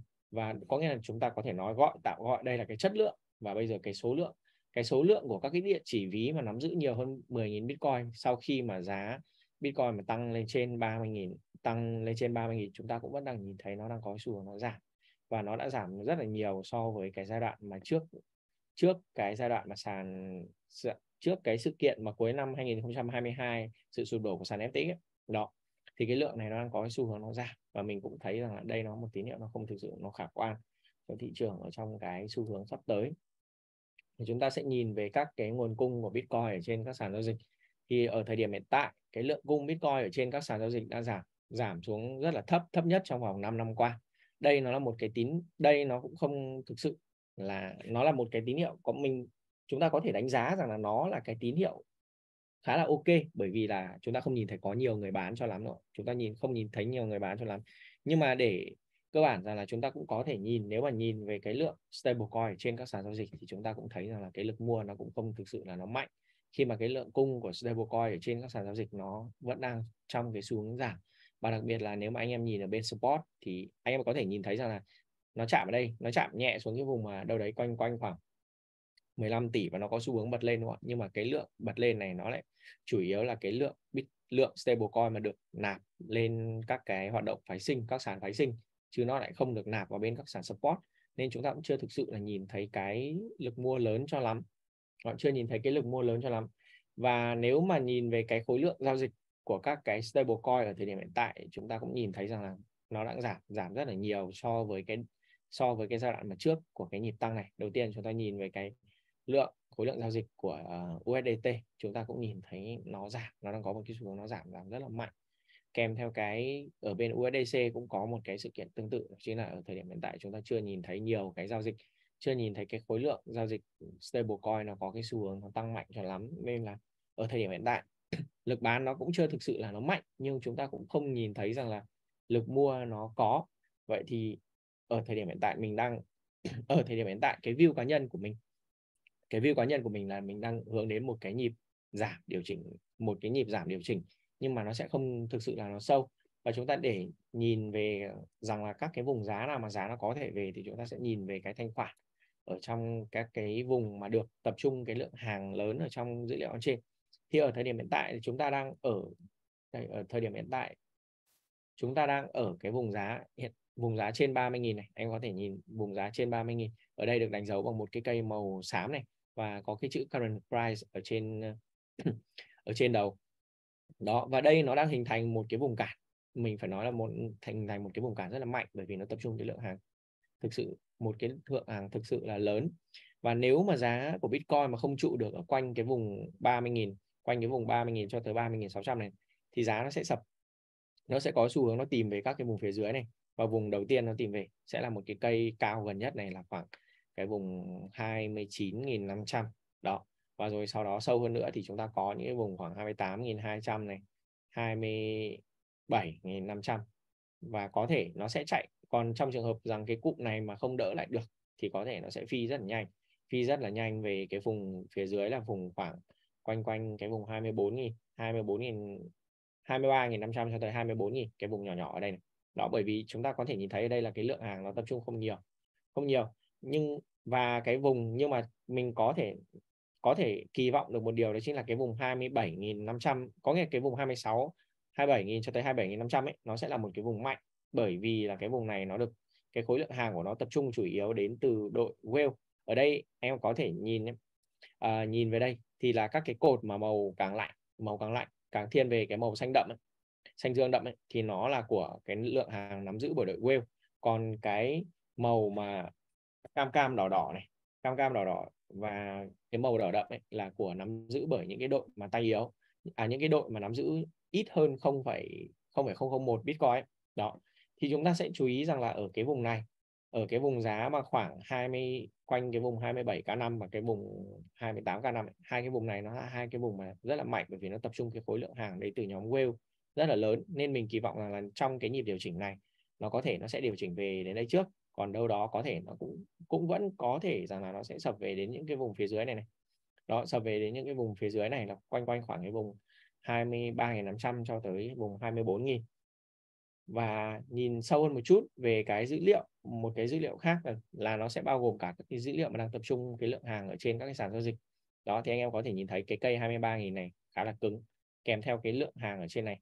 Cái lượng hàng ở đây chúng ta cũng có nhìn thể nhìn thấy rằng là phần lớn nó là một cái lượng hàng của, đến từ cái đội mà đến từ cái đội short term order chúng ta nhìn thấy cây màu đỏ này. Đây short term order đó còn nếu mà muốn sâu hơn một chút thì chúng ta có thể nhìn thấy ở đây vẫn là cái cây 27k5 rồi đến cái cây quanh cái vùng 26 à 28k5 rồi đến cái cây mà quanh vùng 20 27k 26k5 cho đến 27k này. Đó thì mình kỳ vọng rằng là nếu mà trong nhịp điều chỉnh sắp tới thì nó có thể nó sẽ điều chỉnh về đến hai vùng này. Và và ở ở đây chúng ta sẽ nhìn một chút về cái dữ liệu ở bên về các cái dữ liệu về bên uh, phái sinh dữ liệu về CVD đó CVD nó là cái dữ liệu một trong những cái dữ liệu khá là hay và mình quan sát rất là nhiều. Bởi vì nó là cái dữ liệu mà nó sẽ được tính toán bằng hiệu số giữa tổng khối lượng mua và khối lượng bán. Và anh em có thể nhìn thấy rằng ở đây nó được phân chia ở trên, ở bên Coinlines họ đã phân chia khá là rõ ràng cho chúng ta có thể quan sát ở cả ba thị trường. Đó là bên thị trường spot này, bên thị trường margin coin và bên thị trường margin bằng stable coin. Đó. Thì đầu tiên chúng ta có thể nhìn ở bên spot rằng là trong một cái giai đoạn giá nó sideways rất là dài. Mình bật công cụ vẽ một chút. Ok. Chúng ta nhìn ở trong một cái vùng giá sideways rất là dài như thế này. Thì phần lớn ở thời điểm đó chúng ta có thể nhìn thấy rằng là cái khối lượng ở bên support chủ yếu là bán đầu tiên chúng ta nhìn ở bên support chủ yếu là bán ấy. và ở bên margin coin chúng ta cũng nhìn thấy một cái sự kiện tương tự là ở bên đội này bán. Và đặc biệt là trong cái thời gian gần đây, cái lượng, cái khối lượng bán này nó bán sập xuống, giảm khá là mạnh ở trong cái nhịp. Ở trong cái nhịp mà giá điều chỉnh từ cái vùng 31.200 cho xuống tới quanh quanh vùng 30.000 và ở cái, và chúng ta có thể nhìn nhé, nếu mà chúng ta, nếu mà anh em nhìn rộng ra ở đây, chúng ta có thể thấy rằng là cái lượng spot nó bán khá là nhiều. Phần lớn là nguyên một cái nhịp mà từ 24.000 từ 24.700 cho tới cái nhịp hiện tại phần lớn là bên support họ vẫn có cái xu hướng họ bán ra. Nó chỉ có một cái nhịp tăng nhẹ từ đây thôi còn lại phần lớn là bán ra. Rồi ở bên hai bên thị trường này chúng ta có một cái nhịp đẩy lên chúng ta có một nhịp đẩy, đẩy lên nhưng trong cái vùng sideways này thì phần lớn cái khối lượng giao dịch nó được nó là bán phần lớn là cái khối lượng giao dịch bán nó đang lớn hơn so với cái khối lượng giao dịch mua. Nên mình cũng không kịp nên nếu mà Bitcoin nó mà không trụ được ở quanh cái vùng nên nếu mà giá của Bitcoin nó không trụ được ở quanh cái vùng này nếu anh em anh em có quan sát anh em có biết xác định vùng TR đúng không? bên vùng nền giá thì anh em sẽ thấy rằng là cái vùng nền giá này nó đang hình thành nên một cái cản rất là mạnh ở dưới này. Một cái cản rất là mạnh ở quanh quanh cái vùng khoảng 29 hai khoảng quanh vùng 29 9 chúng ta cứ gọi là khoảng 29 8 cho tới 30k đi. Rằng là nếu mà Bitcoin nó không không trụ được ở quanh cái vùng này đến khi mà nó sập ấy, thì nó sẽ phi xuống rất là nhanh. Nó lao xuống rất là nhanh và nếu mà nhìn về cái dữ liệu ở bên dữ liệu dữ liệu khác ở bên CoinClass thì anh có thể thấy rằng là cái khối lượng mà trong vài ngày gần đây với khối lượng thanh lý, có một cái lượng hàng thanh lý nó khá là lớn này. Và phần lớn là cái, các cái lượng lệnh thanh lý chủ yếu là ở, bao gồm cả lệnh short lệnh long và lệnh short nhưng gần đây anh em sẽ thấy rằng là cái khối lượng này nó nó có xu hướng nó giảm và số lượng lệnh long nó tăng lên này cái khối lượng này nó bắt đầu cái khối lượng cái funding rate ấy, nó đang có cái xu hướng giảm. Funding rate thì chúng ta sẽ coi nó là cái nó là cái mà tỷ số giữa khối lượng khối lượng lệnh mua và khối lượng lệnh bán có nghĩa khối lượng lệnh long và short đấy còn cái long short ratio ở cao này thì chúng ta sẽ coi nó là số lượng lệnh nó là hiệu à, tỷ số giữa tỷ số giữa số lượng lệnh long trên số lượng lệnh short. Và ở thời điểm hiện tại anh em có thể nhìn thấy rằng là các cái lệnh long nó đang có cái xu hướng là nó tăng. Số lượng thì đang tăng nhưng mà cái chất lượng ở trong đấy ấy, thì đang có xu hướng phần lớn rằng là lại đang là các cái lệnh chủ yếu lại đang các cái lệnh sọt. Nên mình cũng không kỳ vọng. Mình nên rằng sắp tới sắp tới có thể Bitcoin nó sẽ có một cái nhịp là nó sẽ đi vào một cái nhịp điều chỉnh.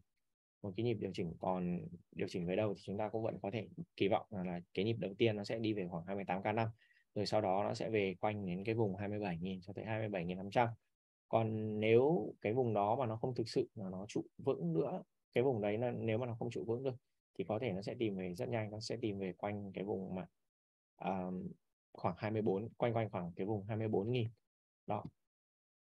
Và ok và mình sẽ hôm nay mình sẽ chỉ cho anh em một tip để anh em sử dụng cái dữ liệu on trên này để anh em có thể theo dõi được cái đội uh, em có thể theo dõi được đội whale nhé ở trên cái chart ở trên cái pro chart cái này là bản trả phí. Anh em sử dụng bản trả phí của CryptoQuan thì anh em mới xem được cái dữ liệu này. Còn lại thì chúng ta sẽ chủ yếu chúng ta chỉ xem được chúng ta chỉ xem được các cái dữ liệu là những cái chart ở bên ngoài như thế này không đó thì chúng ta có thể theo dõi các cái đội này. Thì đầu tiên chúng ta có thể theo dõi được hoàn toàn có một cái nhịp mà một nhịp tăng hoặc một nhịp giảm. Ở trong có nghĩa là chúng ta có thể dự đoán có thể dự đoán hoặc là nhìn thấy những cái tín hiệu từ cái đội uh, quỹ từ các cái đội quỹ những cái người mà tham gia vào quỹ ấy, họ giao dịch như thế nào?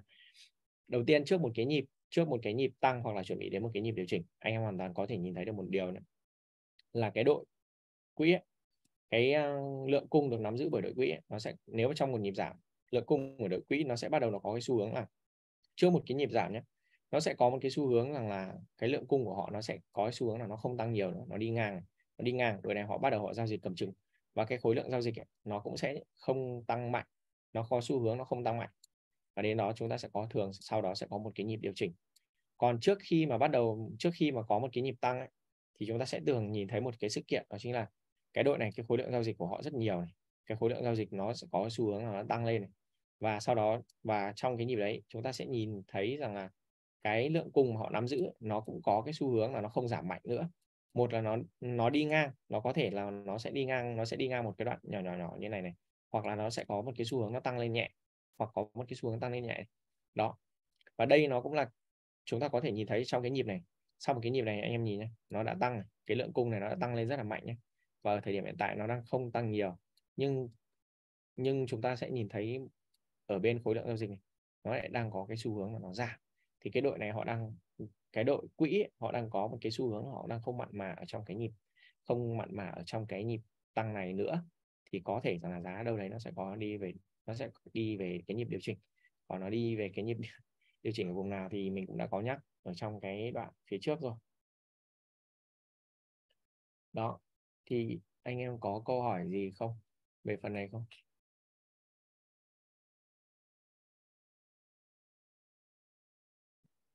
Ok, để mình đọc lại câu hỏi phần trước nhé.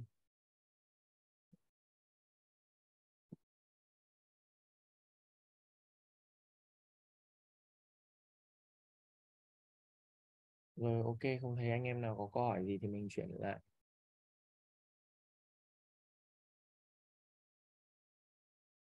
Mình chuyển lại hot cho thầy nhé. À có một người hỏi nếu chỉ biết phân tích kỹ thuật, phân tích cơ bản, không biết on trên thì có đánh tốt không? Về cơ bản thì bạn chỉ cần nếu mà bạn nắm chắc, bạn hiểu được chắc về một cái là đã khá là ok rồi. Rồi bạn sẽ có thể học thêm nhiều, học thêm những cái khác vào nữa để cho chúng ta tăng cái tỷ lệ thắng của chúng ta lên còn cái dữ liệu on chain nó cũng là một cái dữ liệu khá là sâu. Nó là một cái dữ liệu khá là sâu vì chúng ta ngoài cái dữ liệu mà có thể nhìn về cái việc là, là các cái nhóm ở trong thị trường ấy, từ nhóm từ đội ờ, miner này rồi các cái đội quỹ hay kể cả là đội whale các cái đội whale đội long term order họ có những cái giao dịch như thế nào những cái giao dịch đột biến ấy, thì anh em hoàn toàn anh em có thể theo dõi được tracking được.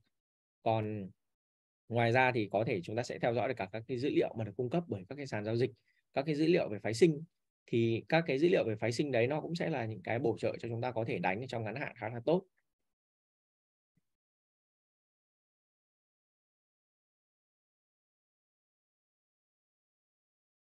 Dữ liệu này chủ yếu phục vụ cho đánh support không? Cái dữ liệu này nếu mà nếu mà anh em có thể nắm đủ sâu thì vẫn hoàn toàn có thể, vẫn có thể đánh được cả phái sinh.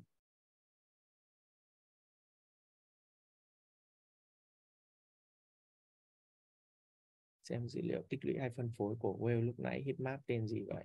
Cái dữ liệu này thì anh em phải, ok, cái heatmap này để mình cho anh em xem cái ảnh full hôm nay mình có mình có tải về cái ảnh full của cái này. Về cơ bản thì cái dữ liệu này chúng ta phải, cái dữ liệu này anh em phải trả phí bởi vì nó là một trong những cái dữ liệu rất là đắt và rất là quý giá ở trong cái dữ liệu on chain về cơ bản muốn xem được cái dữ liệu này thì anh em phải có cái bản trả phí bản T3 của bên Glassnode bởi vì và cái bản đấy nó đâu đấy nó khoảng tầm cái bản đấy là trả phí một năm là khoảng 9.600 đô. Đó.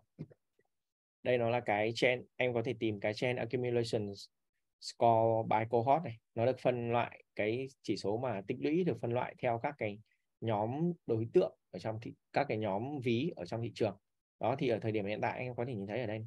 Chúng ta vừa trải qua một cái nhịp mà đội whale họ gom hàng rất là dài.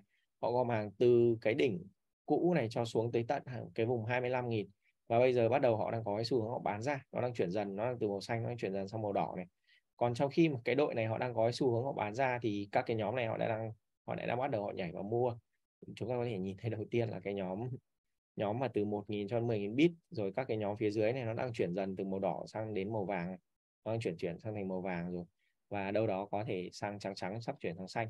Đó chúng ta có thể nhìn về cái dữ liệu phía trước. Em hoàn toàn có thể nhìn về cái dữ liệu phía trước nhé.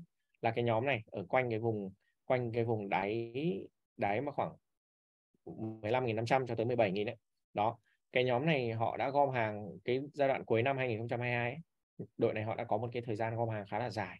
Thời gian họ gom hàng khá là dài đây này và trong số đó thì chúng ta cũng có nhìn thấy được một vài nhóm ở giai đoạn mà khi mà nhóm này họ gom hàng ấy, thì các cái nhóm phía trên này họ đã có xu hướng họ bán ra họ bán ra cho tới khi mà giá nó bắt đầu đẩy lên giá nó bắt đầu đẩy lên này. nhóm nhóm này họ bắt đầu họ bán ra này. nguyên đoạn này cả đội này bán ra họ bán ra trong một cái quãng thời gian rất là dài bán ra trong một cái thời gian đỉnh rất là dài này nhưng mà sau khi mà họ bán ra ở đây rồi thì cái lên đến cái vùng giá này họ lại đột nhiên họ lại có xu hướng là họ họ lại có cái xu hướng họ bắt đầu họ mua vào họ mua vào trong cái khoảng họ mua vào trong cái khoảng thời gian đó.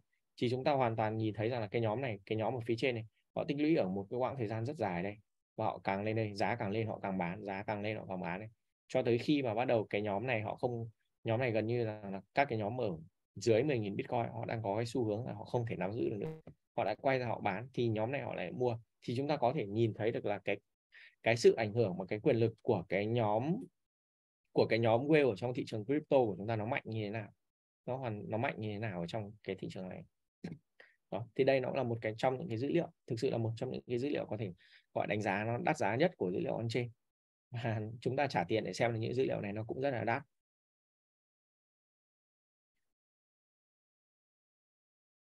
Có xem dòng tiền được không? Dữ liệu này hoàn toàn có thể xem, dữ liệu on trên có thể xem được dòng tiền. Mình cũng vừa cho anh em xem dữ liệu về dòng tiền rồi đấy và chúng ta thấy rằng là ở thời điểm hiện tại chúng ta không thể có tiền vào support. Phần lớn tiền nó không vào support. Nó được nạp vào phái sinh thôi nên mình cũng không kỳ vọng nhiều ở mình cũng không thực sự là mình kỳ vọng à có nghĩa mình cũng không thực sự là mình cảm thấy nó lạc quan trong cái thị trường sắp tới. Mặc dù rằng là về cơ bản là cái dữ liệu về các cái đội quỹ ấy, về trung hạn về trung hạn nó đang khá là tốt bởi vì đội quỹ họ vẫn đang tiếp tục họ gói xu họ gom. Nhưng mà các cái đội mà họ đánh theo quỹ đầu tư ấy, thì ít nhất họ sẽ đánh trong trung hạn là 3 tháng 6 tháng. Còn các cái đội, còn những cái dữ liệu gần đây, các những cái dữ liệu có thể có thể gọi, đưa ra được cái tín hiệu về chen ở trong vòng khoảng tầm vài tuần cho tới một, hai tháng tới thì mình đang nhìn nó không thực sự nó, mình đang nhìn nó không thực sự là nó tích cực cho lắm. Anh em còn câu hỏi gì nữa không?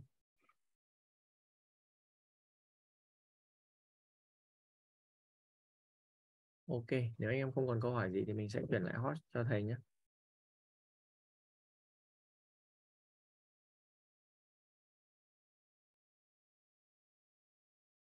Đấy, thầy chưa bật mic. Rồi, ok. cảm ơn các anh em à, để trả lời một số câu hỏi cho mấy bạn nha anh ơi video này có lưu lại hay không không rồi à, nãy có mấy cái bạn hỏi rất là hay dữ liệu này hay quá à, dữ liệu on trend này à, mình thấy dữ liệu on trend này nó cũng à, các bạn hỏi là giống như là nó không quan trọng thật ra rất quan trọng các bạn.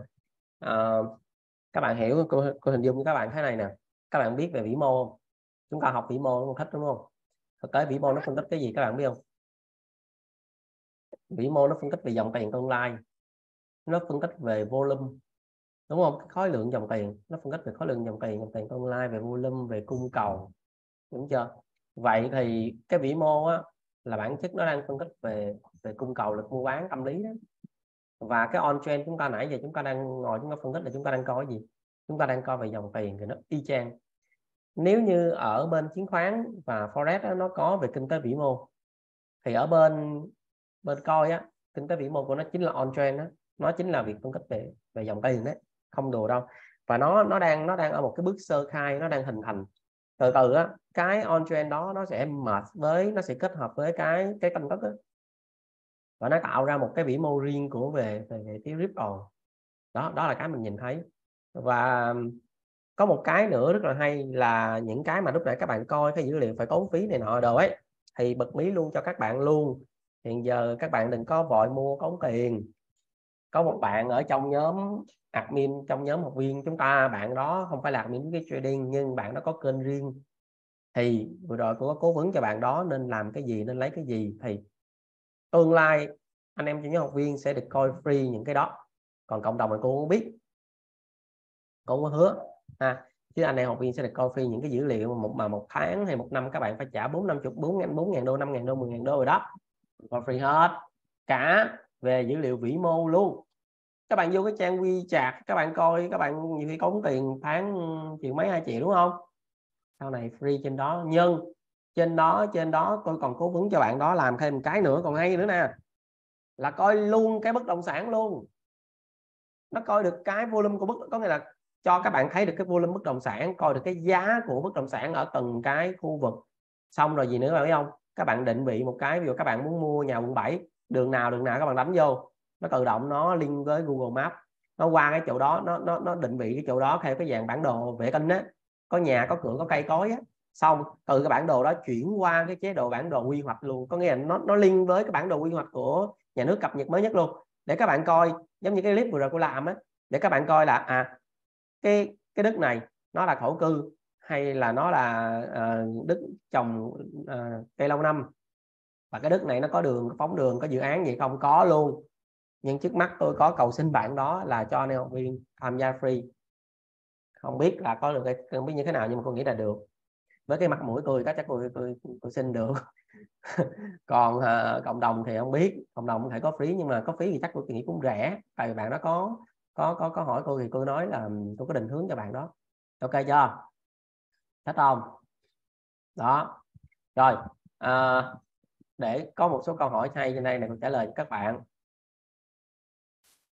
Ờ, à, tôi xem. À, đó các bạn nói là sao thấy on trend cũng là một chỉ báo của phân tích kỹ thuật. Nếu nhìn theo biểu đồ cung lớn cũng biết đoạn nào nguy hiểm mà. Không chúng ta chỉ nhìn được cái cái cái chỉ báo qua chặt qua trading view thôi.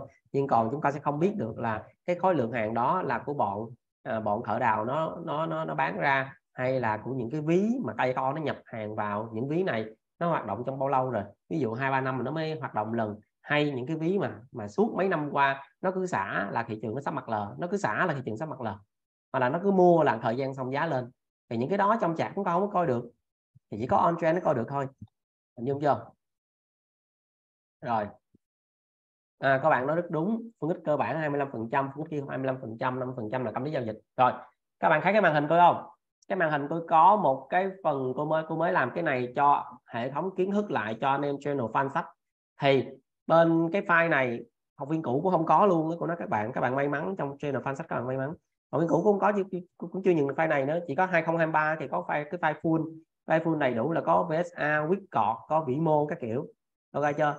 Mà vĩ mô thì tôi đang gửi cho bạn bạn bạn quản gia rồi sắp đó bạn vào đó làm luôn bạn nó public miễn phí phí luôn các bạn cũng chả cần phải đi tìm đâu xa xôi hay tốn tiền gì đó đó.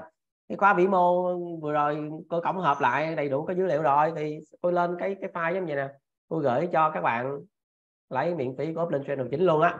Và bữa lên uh, ờ, bạn bạn bạn bạn quản gia bạn tổng hợp xong thành cái file này nhìn tinh gọn lắm. Đó up lên channel chính luôn. Và đương nhiên fan sắp sẽ có nhận được rồi. Thì cái file hệ thống kiến thức này thì thì cô sẽ up lên trên channel fan sắp thì hướng dẫn cho các bạn. Tại vì á cái bộ sách mà sắp tới các bạn nhận á nó vẫn chỉ là những cái con chữ trên trang giấy, nhiều khi nó không có được lột tả hết bằng những cái clip mà tôi mở ra tôi thực hành tôi tôi lấy dữ liệu tôi này nọ tôi soi cho các bạn. Cho nên đó là lý do tôi muốn các bạn đã mua cái bộ sách đó rồi thì các bạn cũng có một cái file này, các bạn học, các bạn ôn luôn trên channel luôn, trên channel sách luôn. Thì cái file này cô có chuyển qua cái dạng PDF tức là các bạn cũng nhận được cái file y chang như vậy, nó là hệ thống kiến thức và nó phân ra cần cái mục nè, tên nè, các bạn chỉ cần click vô các bạn thấy không?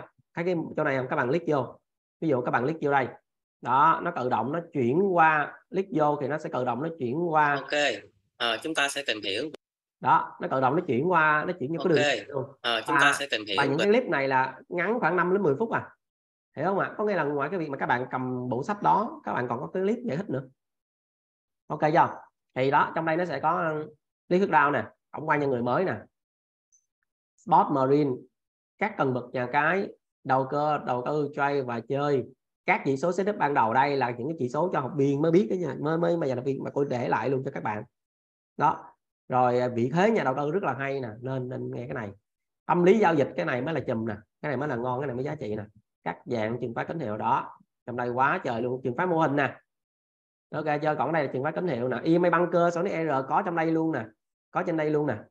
Đó rồi à, nến và cách học viết cọt dễ hiểu nhất có trong đây luôn viết cọt có luôn.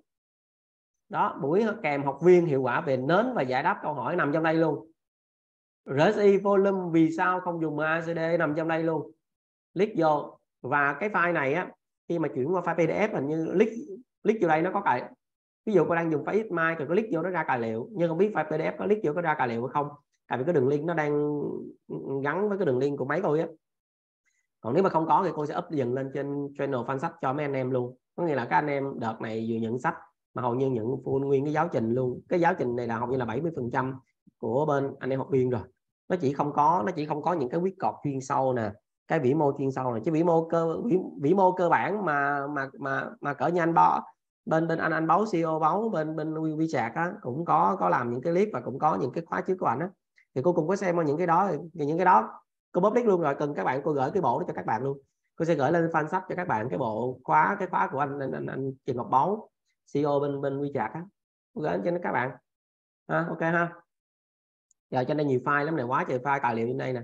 Giáo trình có luôn cô gửi luôn trên đó luôn. Đó uh, lát úp lên fan sách cho anh em. Các bạn nói thầy ơi 2023 có được vào fan sách hay không? Lần trước em có vào nhưng bị kích ra hay sao không? Lần trước á, tôi bên 2023 không vào được lần trước cô có mở cái đường link và cô mở trong một ngày ai vào được thì vào sau đó thì cô khóa đường link rồi. Khóa đường link rồi. Rồi. Ờ, bên 20 bên anh em bên 2023 thì cái file nó up lại thôi không sao channel channel thực ra cái channel 2023 của các bạn nó còn bao quát nó nhiều hơn channel fan sách nữa. Không có cái gì bên fan sách có mà channel 2023 không có. Nếu các bạn cần cô gửi lại. Cái bên channel 2023 là VIP nhất rồi. Và thực ra cô tạo cái channel fan sách này các bạn biết không? Để những những bạn học viên cũ thực sự họ muốn học thì họ sẽ vào cái channel đó ha. Còn vẫn ở cái cái vị thế mà chờ kèo thì họ không thường vào channel đó. Và bây giờ họ muốn vào cũng muộn rồi không vào được ha. hết cái đợt đặt sách rồi. Rồi để tôi xem có câu hỏi nào nữa không tôi trả lời cho các anh em ha. À quên còn cái này nữa nè. Cái bộ sách đó đợt vừa rồi là gồm có những cái đầu mục uh, cái, cái cái cái cái cái sách đây tôi mở anh coi cái bộ sách để tôi mở cái file lên nha. Đây cái bộ sách sắp tới mà các bạn nhận được á thì nó có những nó gồm lúc đầu là định của làm định thành sáu sáu cuốn nhưng tôi tổng hợp lại thành một cuốn luôn cho các bạn dễ giữ đỡ bị mất rồi ờ, này nọ các kiểu. Thì có tổng hợp lại một cuốn. Thì trong cái bộ sách đó nó gồm có 6 phần. Phần 1 là góc tối tài góc uh, góc tối thị trường tài chính nè phần 2 over khuyết điểm của các trường phái phân tích kỹ thuật. Ba là tâm lý giao dịch bốn là kinh tế vĩ mô năm là chu kỳ và các giá trị chim tinh học sáu là bí ẩn các con số chữ cái tên và nhân tố học. Thì trong đây tôi mới bổ sung thêm một phần nữa cho các bạn đó là on trend. Đó là cái khóa mà bạn hát Bạch đang dạy cho anh em học viên. Và tài liệu và tài, tài liệu và những cái clip thì có thể cô sẽ công hợp với dừng lên. Có s có s vô thêm cái nhánh này quá chắc đã ép vô thêm đây về on trend trên đây. Thêm một nhánh cho anh em ha. Up lên fan sách và 2023 ok chưa? Cho nên thành ra các bạn đã đặt mua bộ sách tôi nói rồi. Các bạn chỉ chỉ cần các bạn muốn học thì nó khác lắm. Các bạn luôn nhận TB nhiều hơn SL ha. còn chỉ có một số cái thành phần mà kiểu mà à, mà lười lao động á uh, tiểu xảo á, thì còn là SL mà nó càng vùng vẫy là cô càng cho nó SL dài dài dài nữa. Đó là, là, là cứ như vậy đó, đó cho nên trong trong cái bộ này là vừa có tài liệu vừa có những cái clip hướng dẫn ha. Bên trong đây có hết. Ok ha. Rồi tôi kéo lên xem có câu hỏi nào nữa nè. Đấy, cho em thông báo một chút vậy. À ok ok. Um, mình thì hiện tại ở thời điểm hiện tại thì mình đang phát triển cho anh em học viên một vài cái indie về dữ liệu on chain những cái indie này thì về cơ bản nó rất là đơn giản nó dễ sử dụng. Và chủ yếu là nó sẽ thông báo, có nghĩa là khi mà anh em có những cái indie đấy là hoàn toàn khi mà có thể cài đặt được về các cái điểm mua, điểm bán theo cái dữ liệu on chain và cái tỷ lệ thắng khi mà mình backtest được nó khá là cao, đâu đấy nó khoảng tầm 8 trên 10 và 9 trên 10 với cái lợi nhuận chỉ đánh bằng Bitcoin thôi nhé chỉ đánh bằng Bitcoin thì nó được khoảng tầm trên 20 phần trăm, trên 20 phần trăm với đối với mỗi một kèo ở trong trung hạn. Thì đấy là một số cái indie ở trong nhóm học viên. Ngoài ra thì anh em fan sách cũng được sử dụng một một số trong à một trong số các cái indie đấy. Và ở thời điểm hiện tại mình cũng đang cốt thêm mình đang cốt thêm phát triển thêm một vài cái indie mà để mình sẽ public cho cả anh em cộng đồng có thể sử dụng. Để anh em có thể xem được các cái dữ liệu on chain rất là cơ bản ở ngay trên cái trading view của mình. Thì uh, khi nào mà hoàn thành thì mình sẽ gửi cho thầy và để thầy à, public gửi cho thầy và gửi cho bạn quản gia để có thể public lên cho anh em ngoài ra sắp tới thì về cơ bản sắp tới phần lớn các cái indie mà ở trên trading view ấy thì nó cũng sẽ là các cái indie mà của mình và của team Rickit phát triển ra để anh em có thể sử dụng chúng ta. Phần lớn là chúng ta không phải đi tìm các cái indie đấy ở bên ngoài nữa bởi vì là chúng ta đã có đầy đủ các cái indie đấy ở trong ở trong nhóm rồi. Đó thì uh, có một cái thông báo ngắn đến với tất cả anh em cả trong học viên cộng đồng như thế ồ oh, hay quá tốt quá. Cho nên uh, các bạn thấy bên bên bên bên cái trading á đang cứ cứ mỗi năm như vậy cứ nâng, nâng cao dần dần dần chất lượng. Uh, cố gắng hỗ trợ mấy anh em mọi mặt hỗ trợ từ răng từ đánh răng cho đến lên giường luôn đúng chưa? Đó mà nhiều cái các anh em chúng ta mà không học hay là còn vẫn có mấy cái trò kỹ xảo mà phá phá phá làm chi không biết nữa. Các bạn càng phá thì cũng càng cũng càng siết lại các bạn càng nhận SL thôi chứ được con mẹ ở đâu đúng không? Làm mấy cái trò đó làm chi? Nhiều người ông cũng chả hiểu trong đầu mấy ông nó nghĩ cái gì. Cái là dở mấy ông mấy ông làm mấy ông tự SL mấy ông thôi chứ ai SL mấy ông đâu. Đúng chưa mấy thà ngồi yên đàng hoàng học hành đàng hoàng nhận được biết bao nhiêu thứ. Và tất cả những indicator hồi nãy bạn hát bạch nói đó, chỉ nằm trong 2023 thôi. Channel 2023 thôi mà không public ra. Tại vì tôi thích cho tất cả SL chơi vậy đó. Cho cậu bay học kinh nghiệm nha. Ngoan thì đi lâu dài còn không ngoan lâu lâu vui vui có xóa mẹ nó luôn nó vậy cho nó quen tập cho nó quen đời là vô vi mà có gì có đâu có gì tồn tại mãi mãi đâu, tập cho nó quen cái đau khổ nhất của chúng ta, các bạn biết không phải là chúng ta mất đâu. Cái đau khổ nhất của chúng ta không phải là cái mất đâu, mà cái đau khổ nhất của chúng ta là chúng ta mất mà thằng khác nó chưa mất, cái đó mới đau khổ. Mà cái đó mới coi, mới cay á chứ. Mẹ nó thằng nào cũng cũng cũng dự mà có đồ chơi, có mình mình không có đồ chơi, cái đó mới cay. Các bạn thừa nhận với tôi không? Đó, tôi vì cô chơi ác lắm, cô chơi vậy đó. Cô chơi vậy đó, cho nên á chăm học học đàng hoàng nghiêm túc. Đó cố gắng cố gắng đừng có để cái năm 2023 rũ bỏ. Thế thôi. Ừ. tôi nói các bạn ở trong nhóm học viên chúng ta bây giờ gần đến một ngàn à nói nói dùng ngàn mới nhớ. Đâu rồi? Các bạn biết lần trước đó, chúng ta có cái chương trình là à, đây lần trước là còn 16 bạn bây giờ nói luôn các bạn chỉ còn 10 bạn thôi. Bây giờ là 990 người rồi. Sáng nay luôn là 990 người rồi còn à, uh, 10 người nữa là ngàn. Bắt đầu từ member học viên thứ 1001 sẽ là 2k3 tặng cái bộ sách tặng bộ sách. Còn còn từ đây còn trong 10 trong vòng 10 người đó thì người ta sẽ là mấy bạn đó sẽ là 2k thay vì 2k3 sẽ là 2k tặng bộ sách. Và riêng đối với anh chị em nằm trong fan sách mà cho những học viên chỉ còn 1k8 cộng bộ sách. Đó tôi hỗ tôi làm mọi thứ luôn để cho các bạn tạo điều kiện cho các bạn thay đổi bản thân mình rất là nhiều. Thì nếu mà chúng ta vẫn không thay đổi được chịu chúng ta không có cái gì đó cho bản thân chúng ta chịu đó. Ok ha. Rồi à, đâu rồi? Kéo lên cô xem đã có một câu hỏi rất là hay nè. À có. À, có một câu hỏi của bạn học viên đừng trước bạn có gửi tôi thì à, cô có nói là để để zoom em em đặt câu hỏi lại xong anh trả lời. Thì bạn đó có gửi cho cô cái hình bạn đó gửi cho tôi là ở bên ở bên có một cái bạn ở bên bất động sản. Bạn đã nói là tiền sẽ vào bất động sản. À, khi mà tiền tràn ra ngoài xã hội như vậy thì lạm phát này là các kiểu lương tăng gì đó các kiểu. Lương tăng thì uh, uh, vật, vật giá cũng tăng lạm phát uh, chính phủ không muốn nên chính phủ sẽ dồn tiền những bất động sản. Thì đó là một trong những cái lỗ hổng nguy hiểm lỗ hổng kiến thức rất là nguy hiểm thì của nó các bạn biết, ở tất cả luôn nha, tất cả các chính phủ trên thế giới, không có chính phủ nào kỳ vọng quốc gia của mình giàu lên vì bất động sản cả. Các bạn nhớ cho cô một điều, cho nên các bạn để ý, không có chuyện là chính phủ đầu tư để cho bất động sản nó tăng giá. Một điều đơn giản nè, khi các bạn nắm quân đội, các bạn nắm quân đội, tôi nói một cái ví dụ đơn giản nha. Ở một cái bộ cọc nào đó, các bạn nắm quân đội, các bạn tấn công vào bộ cọc đó, các bạn chiếm hết cái bộ cọc đó thì mặc định cái miếng đất ở trong bộ cọc đó là của các bạn. Các bạn cần các bạn bán cho bộ cọc khác. Bán cái một à. Thứ các bạn cần là gì các bạn biết không? Là trong cái bộ cọc đó người dân trong đó tạo ra của cải tài nguyên sản xuất. Nó tạo ra xe hơi củ cà rốt nó tạo ra uh, rau răm nó tạo ra gì đó. Và xuất khẩu ra nước ngoài thu ngoại tệ về. Cái đó nó giá trị hơn cái việc đấy bất đất để bán. Cả việc đấy đất đi bán một cái là nó bán cho nước ngoài cái một à chứ nếu như mà muốn phát triển bất động sản của nó, các bạn đâu cần phải bán cho người dân người dân mua bán qua lại đâu. Bây giờ tao cắt phân nửa hay là một phần tư quốc gia ra, thằng nào trả giá cao, tao bán cho đó.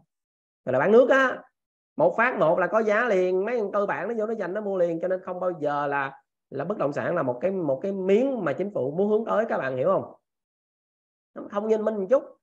Cái chính phủ muốn hướng tới, tất cả các chính phủ trên thế giới muốn hướng tới là người dân chính phủ sẽ đầu tư công, hỗ trợ đường xá, bệnh viện, trường học. Ờ, ok không? Hỗ trợ rất nhiều thứ để chi? Để cho người dân thuận tiện giao thương. Mà thuận tiện giao thương thì mới tạo cơ hội tạo ra sản xuất, tạo ra những cái hàng hóa, những cái sản phẩm về trí tuệ, những cái sản phẩm mà có có có thật sự và người ta dùng cái đó đó. Người ta đưa ra nước ngoài, người ta bán nước ngoài. Chính phủ ví dụ ở Việt Nam chúng ta là nông sản, Thái Lan là nông sản. Còn phải trồng nhiều vô đi, lấy cái đó, bán nước ngoài, lấy đô la về lấy đô la về, có đô la đi mua cát của những những cái nước khác đổ vô lấp biển, tạo ra dụng nước mới là bình thường. Cái đó mới là cái mà mà chính phủ họ mong muốn, các bạn hiểu không? Cho nên cái tư duy của cái bọn bất động sản của nó, những cái thằng mà nó suy nghĩ mà chính phủ sẽ bỏ bỏ tiền những bất động sản để đi lên, nó dốt lắm. Tôi nói được cái tại vì sao? Tại vì á, thứ nhất, một là nó đang đu định bất động sản và nó đang bị một cái bệnh là tự hữu dâm. Tôi nói hơi bị phô, tự hữu dâm tinh thần có nghĩa là cố gắng tìm cái lý do để cho bất động sản lên. Mà à, mà ngắt ác ác một cái là dốt. Không có kiến thức cho nên tìm ra một cái lý do cố gắng. Gọi là trong cái, có một cái bộ sách nó nói về, nó nói về cái trạng thái này á. Gọi là lạc quan tiếu á. Lạc quan tiếu cũng giống cái bọn quanh coi á. Tự, cái bọn bi cũng như vậy á. Lạc quan tiếu á. Cái này tự tự cũng có tinh thần là như vậy như vậy. Tự bị bản thân là kiểu đó đó. Cho nên coi nó không có kiến thức nó đủ thứ bệnh là vậy á mà cái bệnh nó nguy hiểm là cái bệnh nó lan, một thằng không có kiến thức mà nó lan cái bệnh nó cho thằng có kiến thức, cái đó mới là cái nguy hiểm. Cái đó mới là cái nguy hiểm cầm như một bạn học viên đã học rồi mà còn hỏi cái đó. Các bạn nhìn những cái dự án giống như bên Aomon chính phủ đâu có đầu tư mấy mảnh đất xung quanh Aomon đâu. Bộ quốc phòng cho bên Nhật Bản thuê cái mảnh đất đó tạo điều kiện cho Aomon đem đem tiền từ nước ngoài nước ngoài đem tiền vô đầu tư ở mảnh đất đó xây cái Aomon lên thì xây cái ông mon lên là tự nhiên. Ở đó nó mở ra karaoke, giữ xe, mì cay, nó mở vân vân mày mày mở trường học, mở cà phê. Các bạn thấy không? Và nó mở như vậy thì bất động sản nó tăng giá. Vậy thì rõ ràng, cái việc tăng giá của bất động sản nó là hệ quả của đầu tư công. Có nghĩa là chính phủ bắt tay với người nước ngoài ờ phát triển, đầu tư ở cái địa phương đó, mở lên Elmon nè, mở lên những cái trung tâm thương mại nè và nhờ, mà nhờ mở như vậy thì xung quanh bất động sản nó tăng giá, vậy bất động sản là hệ quả của việc đầu tư công. Chứ không có chính phủ nào mà đẩy tiền cho bất động sản làm cái gì. Nếu muốn đẩy tiền cho bất động sản của nó, các bạn không có cần đẩy. Ok, cái chỗ đó tao bán đó, thằng nào muốn vô mua làm đặt khu đặt gì, coi mua đặt cái gì cũng phải đặt ở đó. Nhưng campuchia đó, thằng campuchia làm, nó làm kinh kinh tế dở quá, nợ quá, cắt mẹ nó, mạnh đất cắt ra cho cái cảng cho thằng trung quốc thuê làm ờ, làm làm quốc vòng cắt mạnh đức cho của Trung Quốc nó tràn qua nó mở casino và chỗ đó người Campuchia cũng không được vô nữa chứ đừng có nói là người Việt Nam chúng ta. Đó bạn tôi nó chuyên đi du lịch nó qua bên đó nó nói luôn. Nó nói người Việt Nam và người Campuchia cũng được quyền tới cái đặc khu đó của nó nữa. Chỉ có người Trung Quốc thôi. Đó là cắt kiểu đó đó, đó. Trung Quốc từng Trung Quốc từng phải cắt cho cắt Hồng Kông cho bên Anh Quốc chín mươi mấy năm, đúng không? Chín chín năm. Là cái kiểu đó đó. Một phát một rất nhiều tiền. Ok chưa? Để để giải thích cho các bạn biết. Đấy. Mấy nay tình hình Việt Nam Trung Quốc có thật gì? Mấy nay tình hình Việt Nam Trung Quốc có thật không thầy? Hay hội nhóm bên ngoài nhiễu loạn? Ủa, tình hình Việt Nam Trung Quốc có cái gì mà thật cái không thật? Mà chúng ta lúc nào trả là bạn tốt. Nói chứ lúc nào trả là bạn tốt. Chúng ta 16 chữ vàng bay hỏi kỳ bấy đại biện thật với ông thật.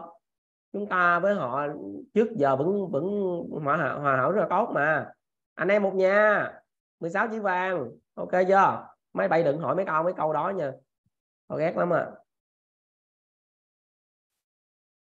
Rồi bơi trong cần 147 mãi khổ quá thầy. Năm 2023 đáng bứt phá đúng rồi. Tôi nói các bạn không có cái năm nào như năm nay á. Cái năm 2023 các bạn thấy đầu năm là anh Phúc đi xuống rồi chú Phúc tôi rất thần tượng chú mà chú xuống bác bác Phúc tôi rất thần tượng mà bác Phúc xuống là tôi rất là buồn. Xong rồi có rất nhiều đại gia cũng xuống nhiều lắm. Nói chung là năm 2023 này uh, rủ hơi bị mạnh ha. Ừ. rồi kéo lên xem nhá.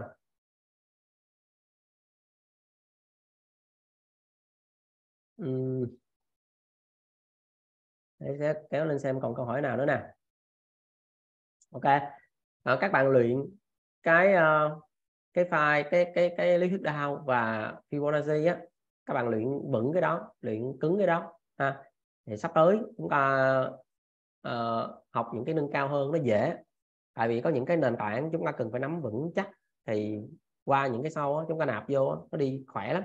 Còn những cái mà nền tảng chúng ta bị hỏng rồi sau này chúng ta sẽ như mấy admin bây giờ có nhiều admin đó nó bị hỏng cái nền tảng đó nó nói lơ ngơ lơ ngơ sau này học viên của họ biết đó, bể lắm ha. Ờ, đâu? Sáng em mới vào học viên một k tám ồ ok. Các bạn thấy cái đứa là nhanh hôm bữa là 10, 10 16 người đúng không? Mà bây giờ còn có 10 người nữa à. Có nói các bạn có vài ngày nữa là 10 10 lót đầu tiên là xong rồi đó là qua người có một ngàn lấy một rồi là các bạn hết cơ hội hết cơ hội. Nó lại là hai k ba cộng một sách rồi các còn nay làm việc công ty nhiều mai em mới xem và thực hành được nên nên xem lại. Cái clip đó tôi public luôn rồi. Các bạn nên xem lại. Và cái mục tiêu của tôi năm 2023 này là tôi phải cố gắng tôi rủ tôi rủ bằng được một số thành phần tôi rủ ra hết. À, lười lười lười còn còn còn còn không chịu thay đổi chính mình thì market nó thay đổi bạn thôi xã hội thay đổi bạn. Tôi rủ rủ xong rồi bắt đầu tôi sẽ đưa những kiến thức đó vô. Thì những cái người mà còn lại họ học rất là nhanh. Tại vì họ đã họ đã có một cái cái cái tư duy khác rồi á. Họ ở lại được trụ lại được đó họ rất là nhanh cho nên có tạo ra cái channel fan sách là như vậy.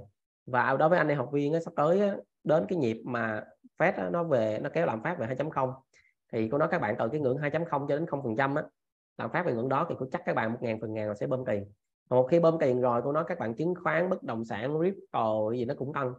Và cái mục tiêu trong qua 2023 của tôi là làm sao tôi kéo anh em học viên và cả trong anh em anh em channel fan sách cô sẽ chia sẻ những cái bất động sản hay những cái mà cô đang là cô đang làm mà cô đang khảo khảo sát cô, kinh nghiệm thấy cô biết cô chia sẻ.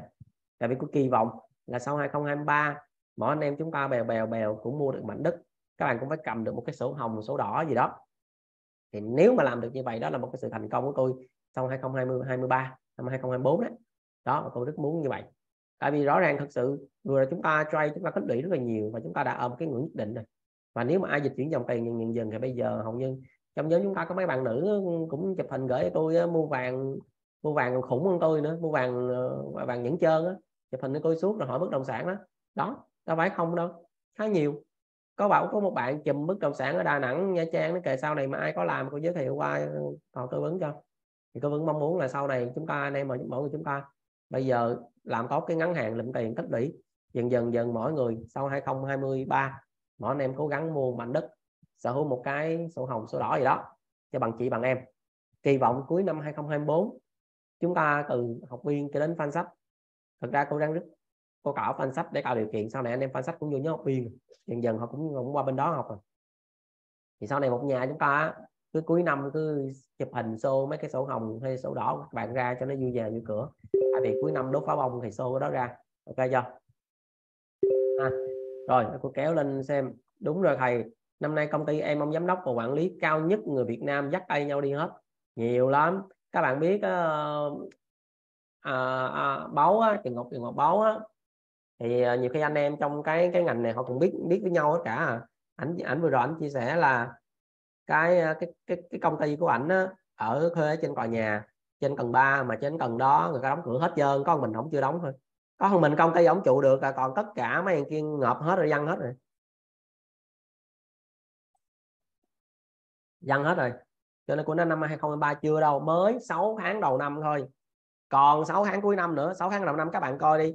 6 tháng đầu năm biết bao nhiêu từ chính trị cho đến nền kinh tế và những à, tay to tài phiện Việt Nam bay màu hết rồi. Còn 6 tháng cuối năm mà thằng Fed nó chưa xong tăng lãi suất nha. Nó nói 6 tháng cuối năm nó sẽ tăng hai đợt lãi suất nữa phải đợi đi. Thiệt nó mà tăng 0.5 của nó cứ cười ể luôn. Cười lúc cười rít heo ăn cúng heo quay ăn mừng liền. Thiệt nó mà nó mà út 0.5 một cái là tôi mừng lắm. Càng tốt, rủ một phát một cho nó lẹ. 2023 có sao gì? Có sao Đà La là sao gì? Đúng không có cái sao Đà La đó nữa hả? Cuối năm ngoái, thầy nói nhiều quan đại gia xuống chuẩn thật làm có sao Đà La nó bành nội. Có lộn không? Có lộn sao nào không?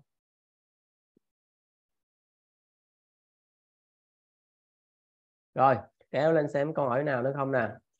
Bữa nay cuối tuần cuối tuần cũng khoảng bốn trăm mấy năm trăm người ngồi nghe là là khá rồi. Uh, để xem. Ok cũng còn đói.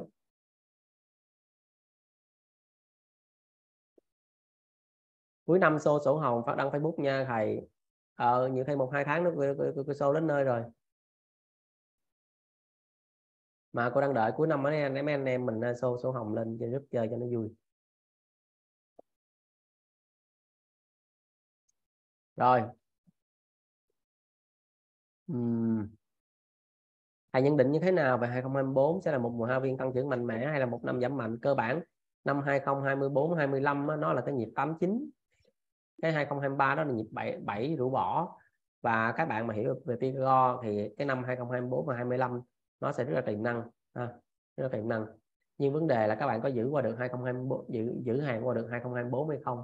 Giữ hàng qua được 2023 hay không? Là câu chuyện khác. 6 tháng đầu năm là chúng ta đã bị biết bao nhiêu? Tan hương rồi đúng không? Rồi xem có câu hỏi nào nữa không? Không chúng ta cầm ngân này nha. Thầy có nói 2023 có ngôi sao gì chiếu lên xem lại cái clip cũ. Clip cũ chẳng những nói nói về cái đó còn gửi file luôn cô nhớ cái đợt đó còn tặng ờ, tặng cái bộ lịch cho cái bộ lịch mà xem ờ, xem xem cả năm cho mấy anh em nữa mà. Rồi.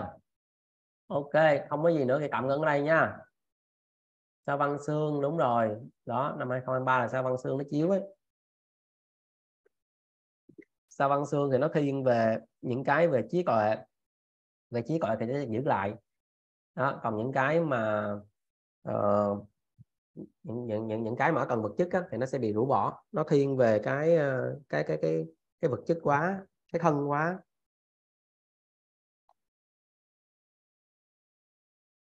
Các bạn hỏi giờ đăng ký vào những học viên thì cần điều kiện gì? Rồi các bạn liên hệ cái nick telegram tôi, tôi gửi cái cái thông tin qua. À, chấm mi suyệt lý gia thành.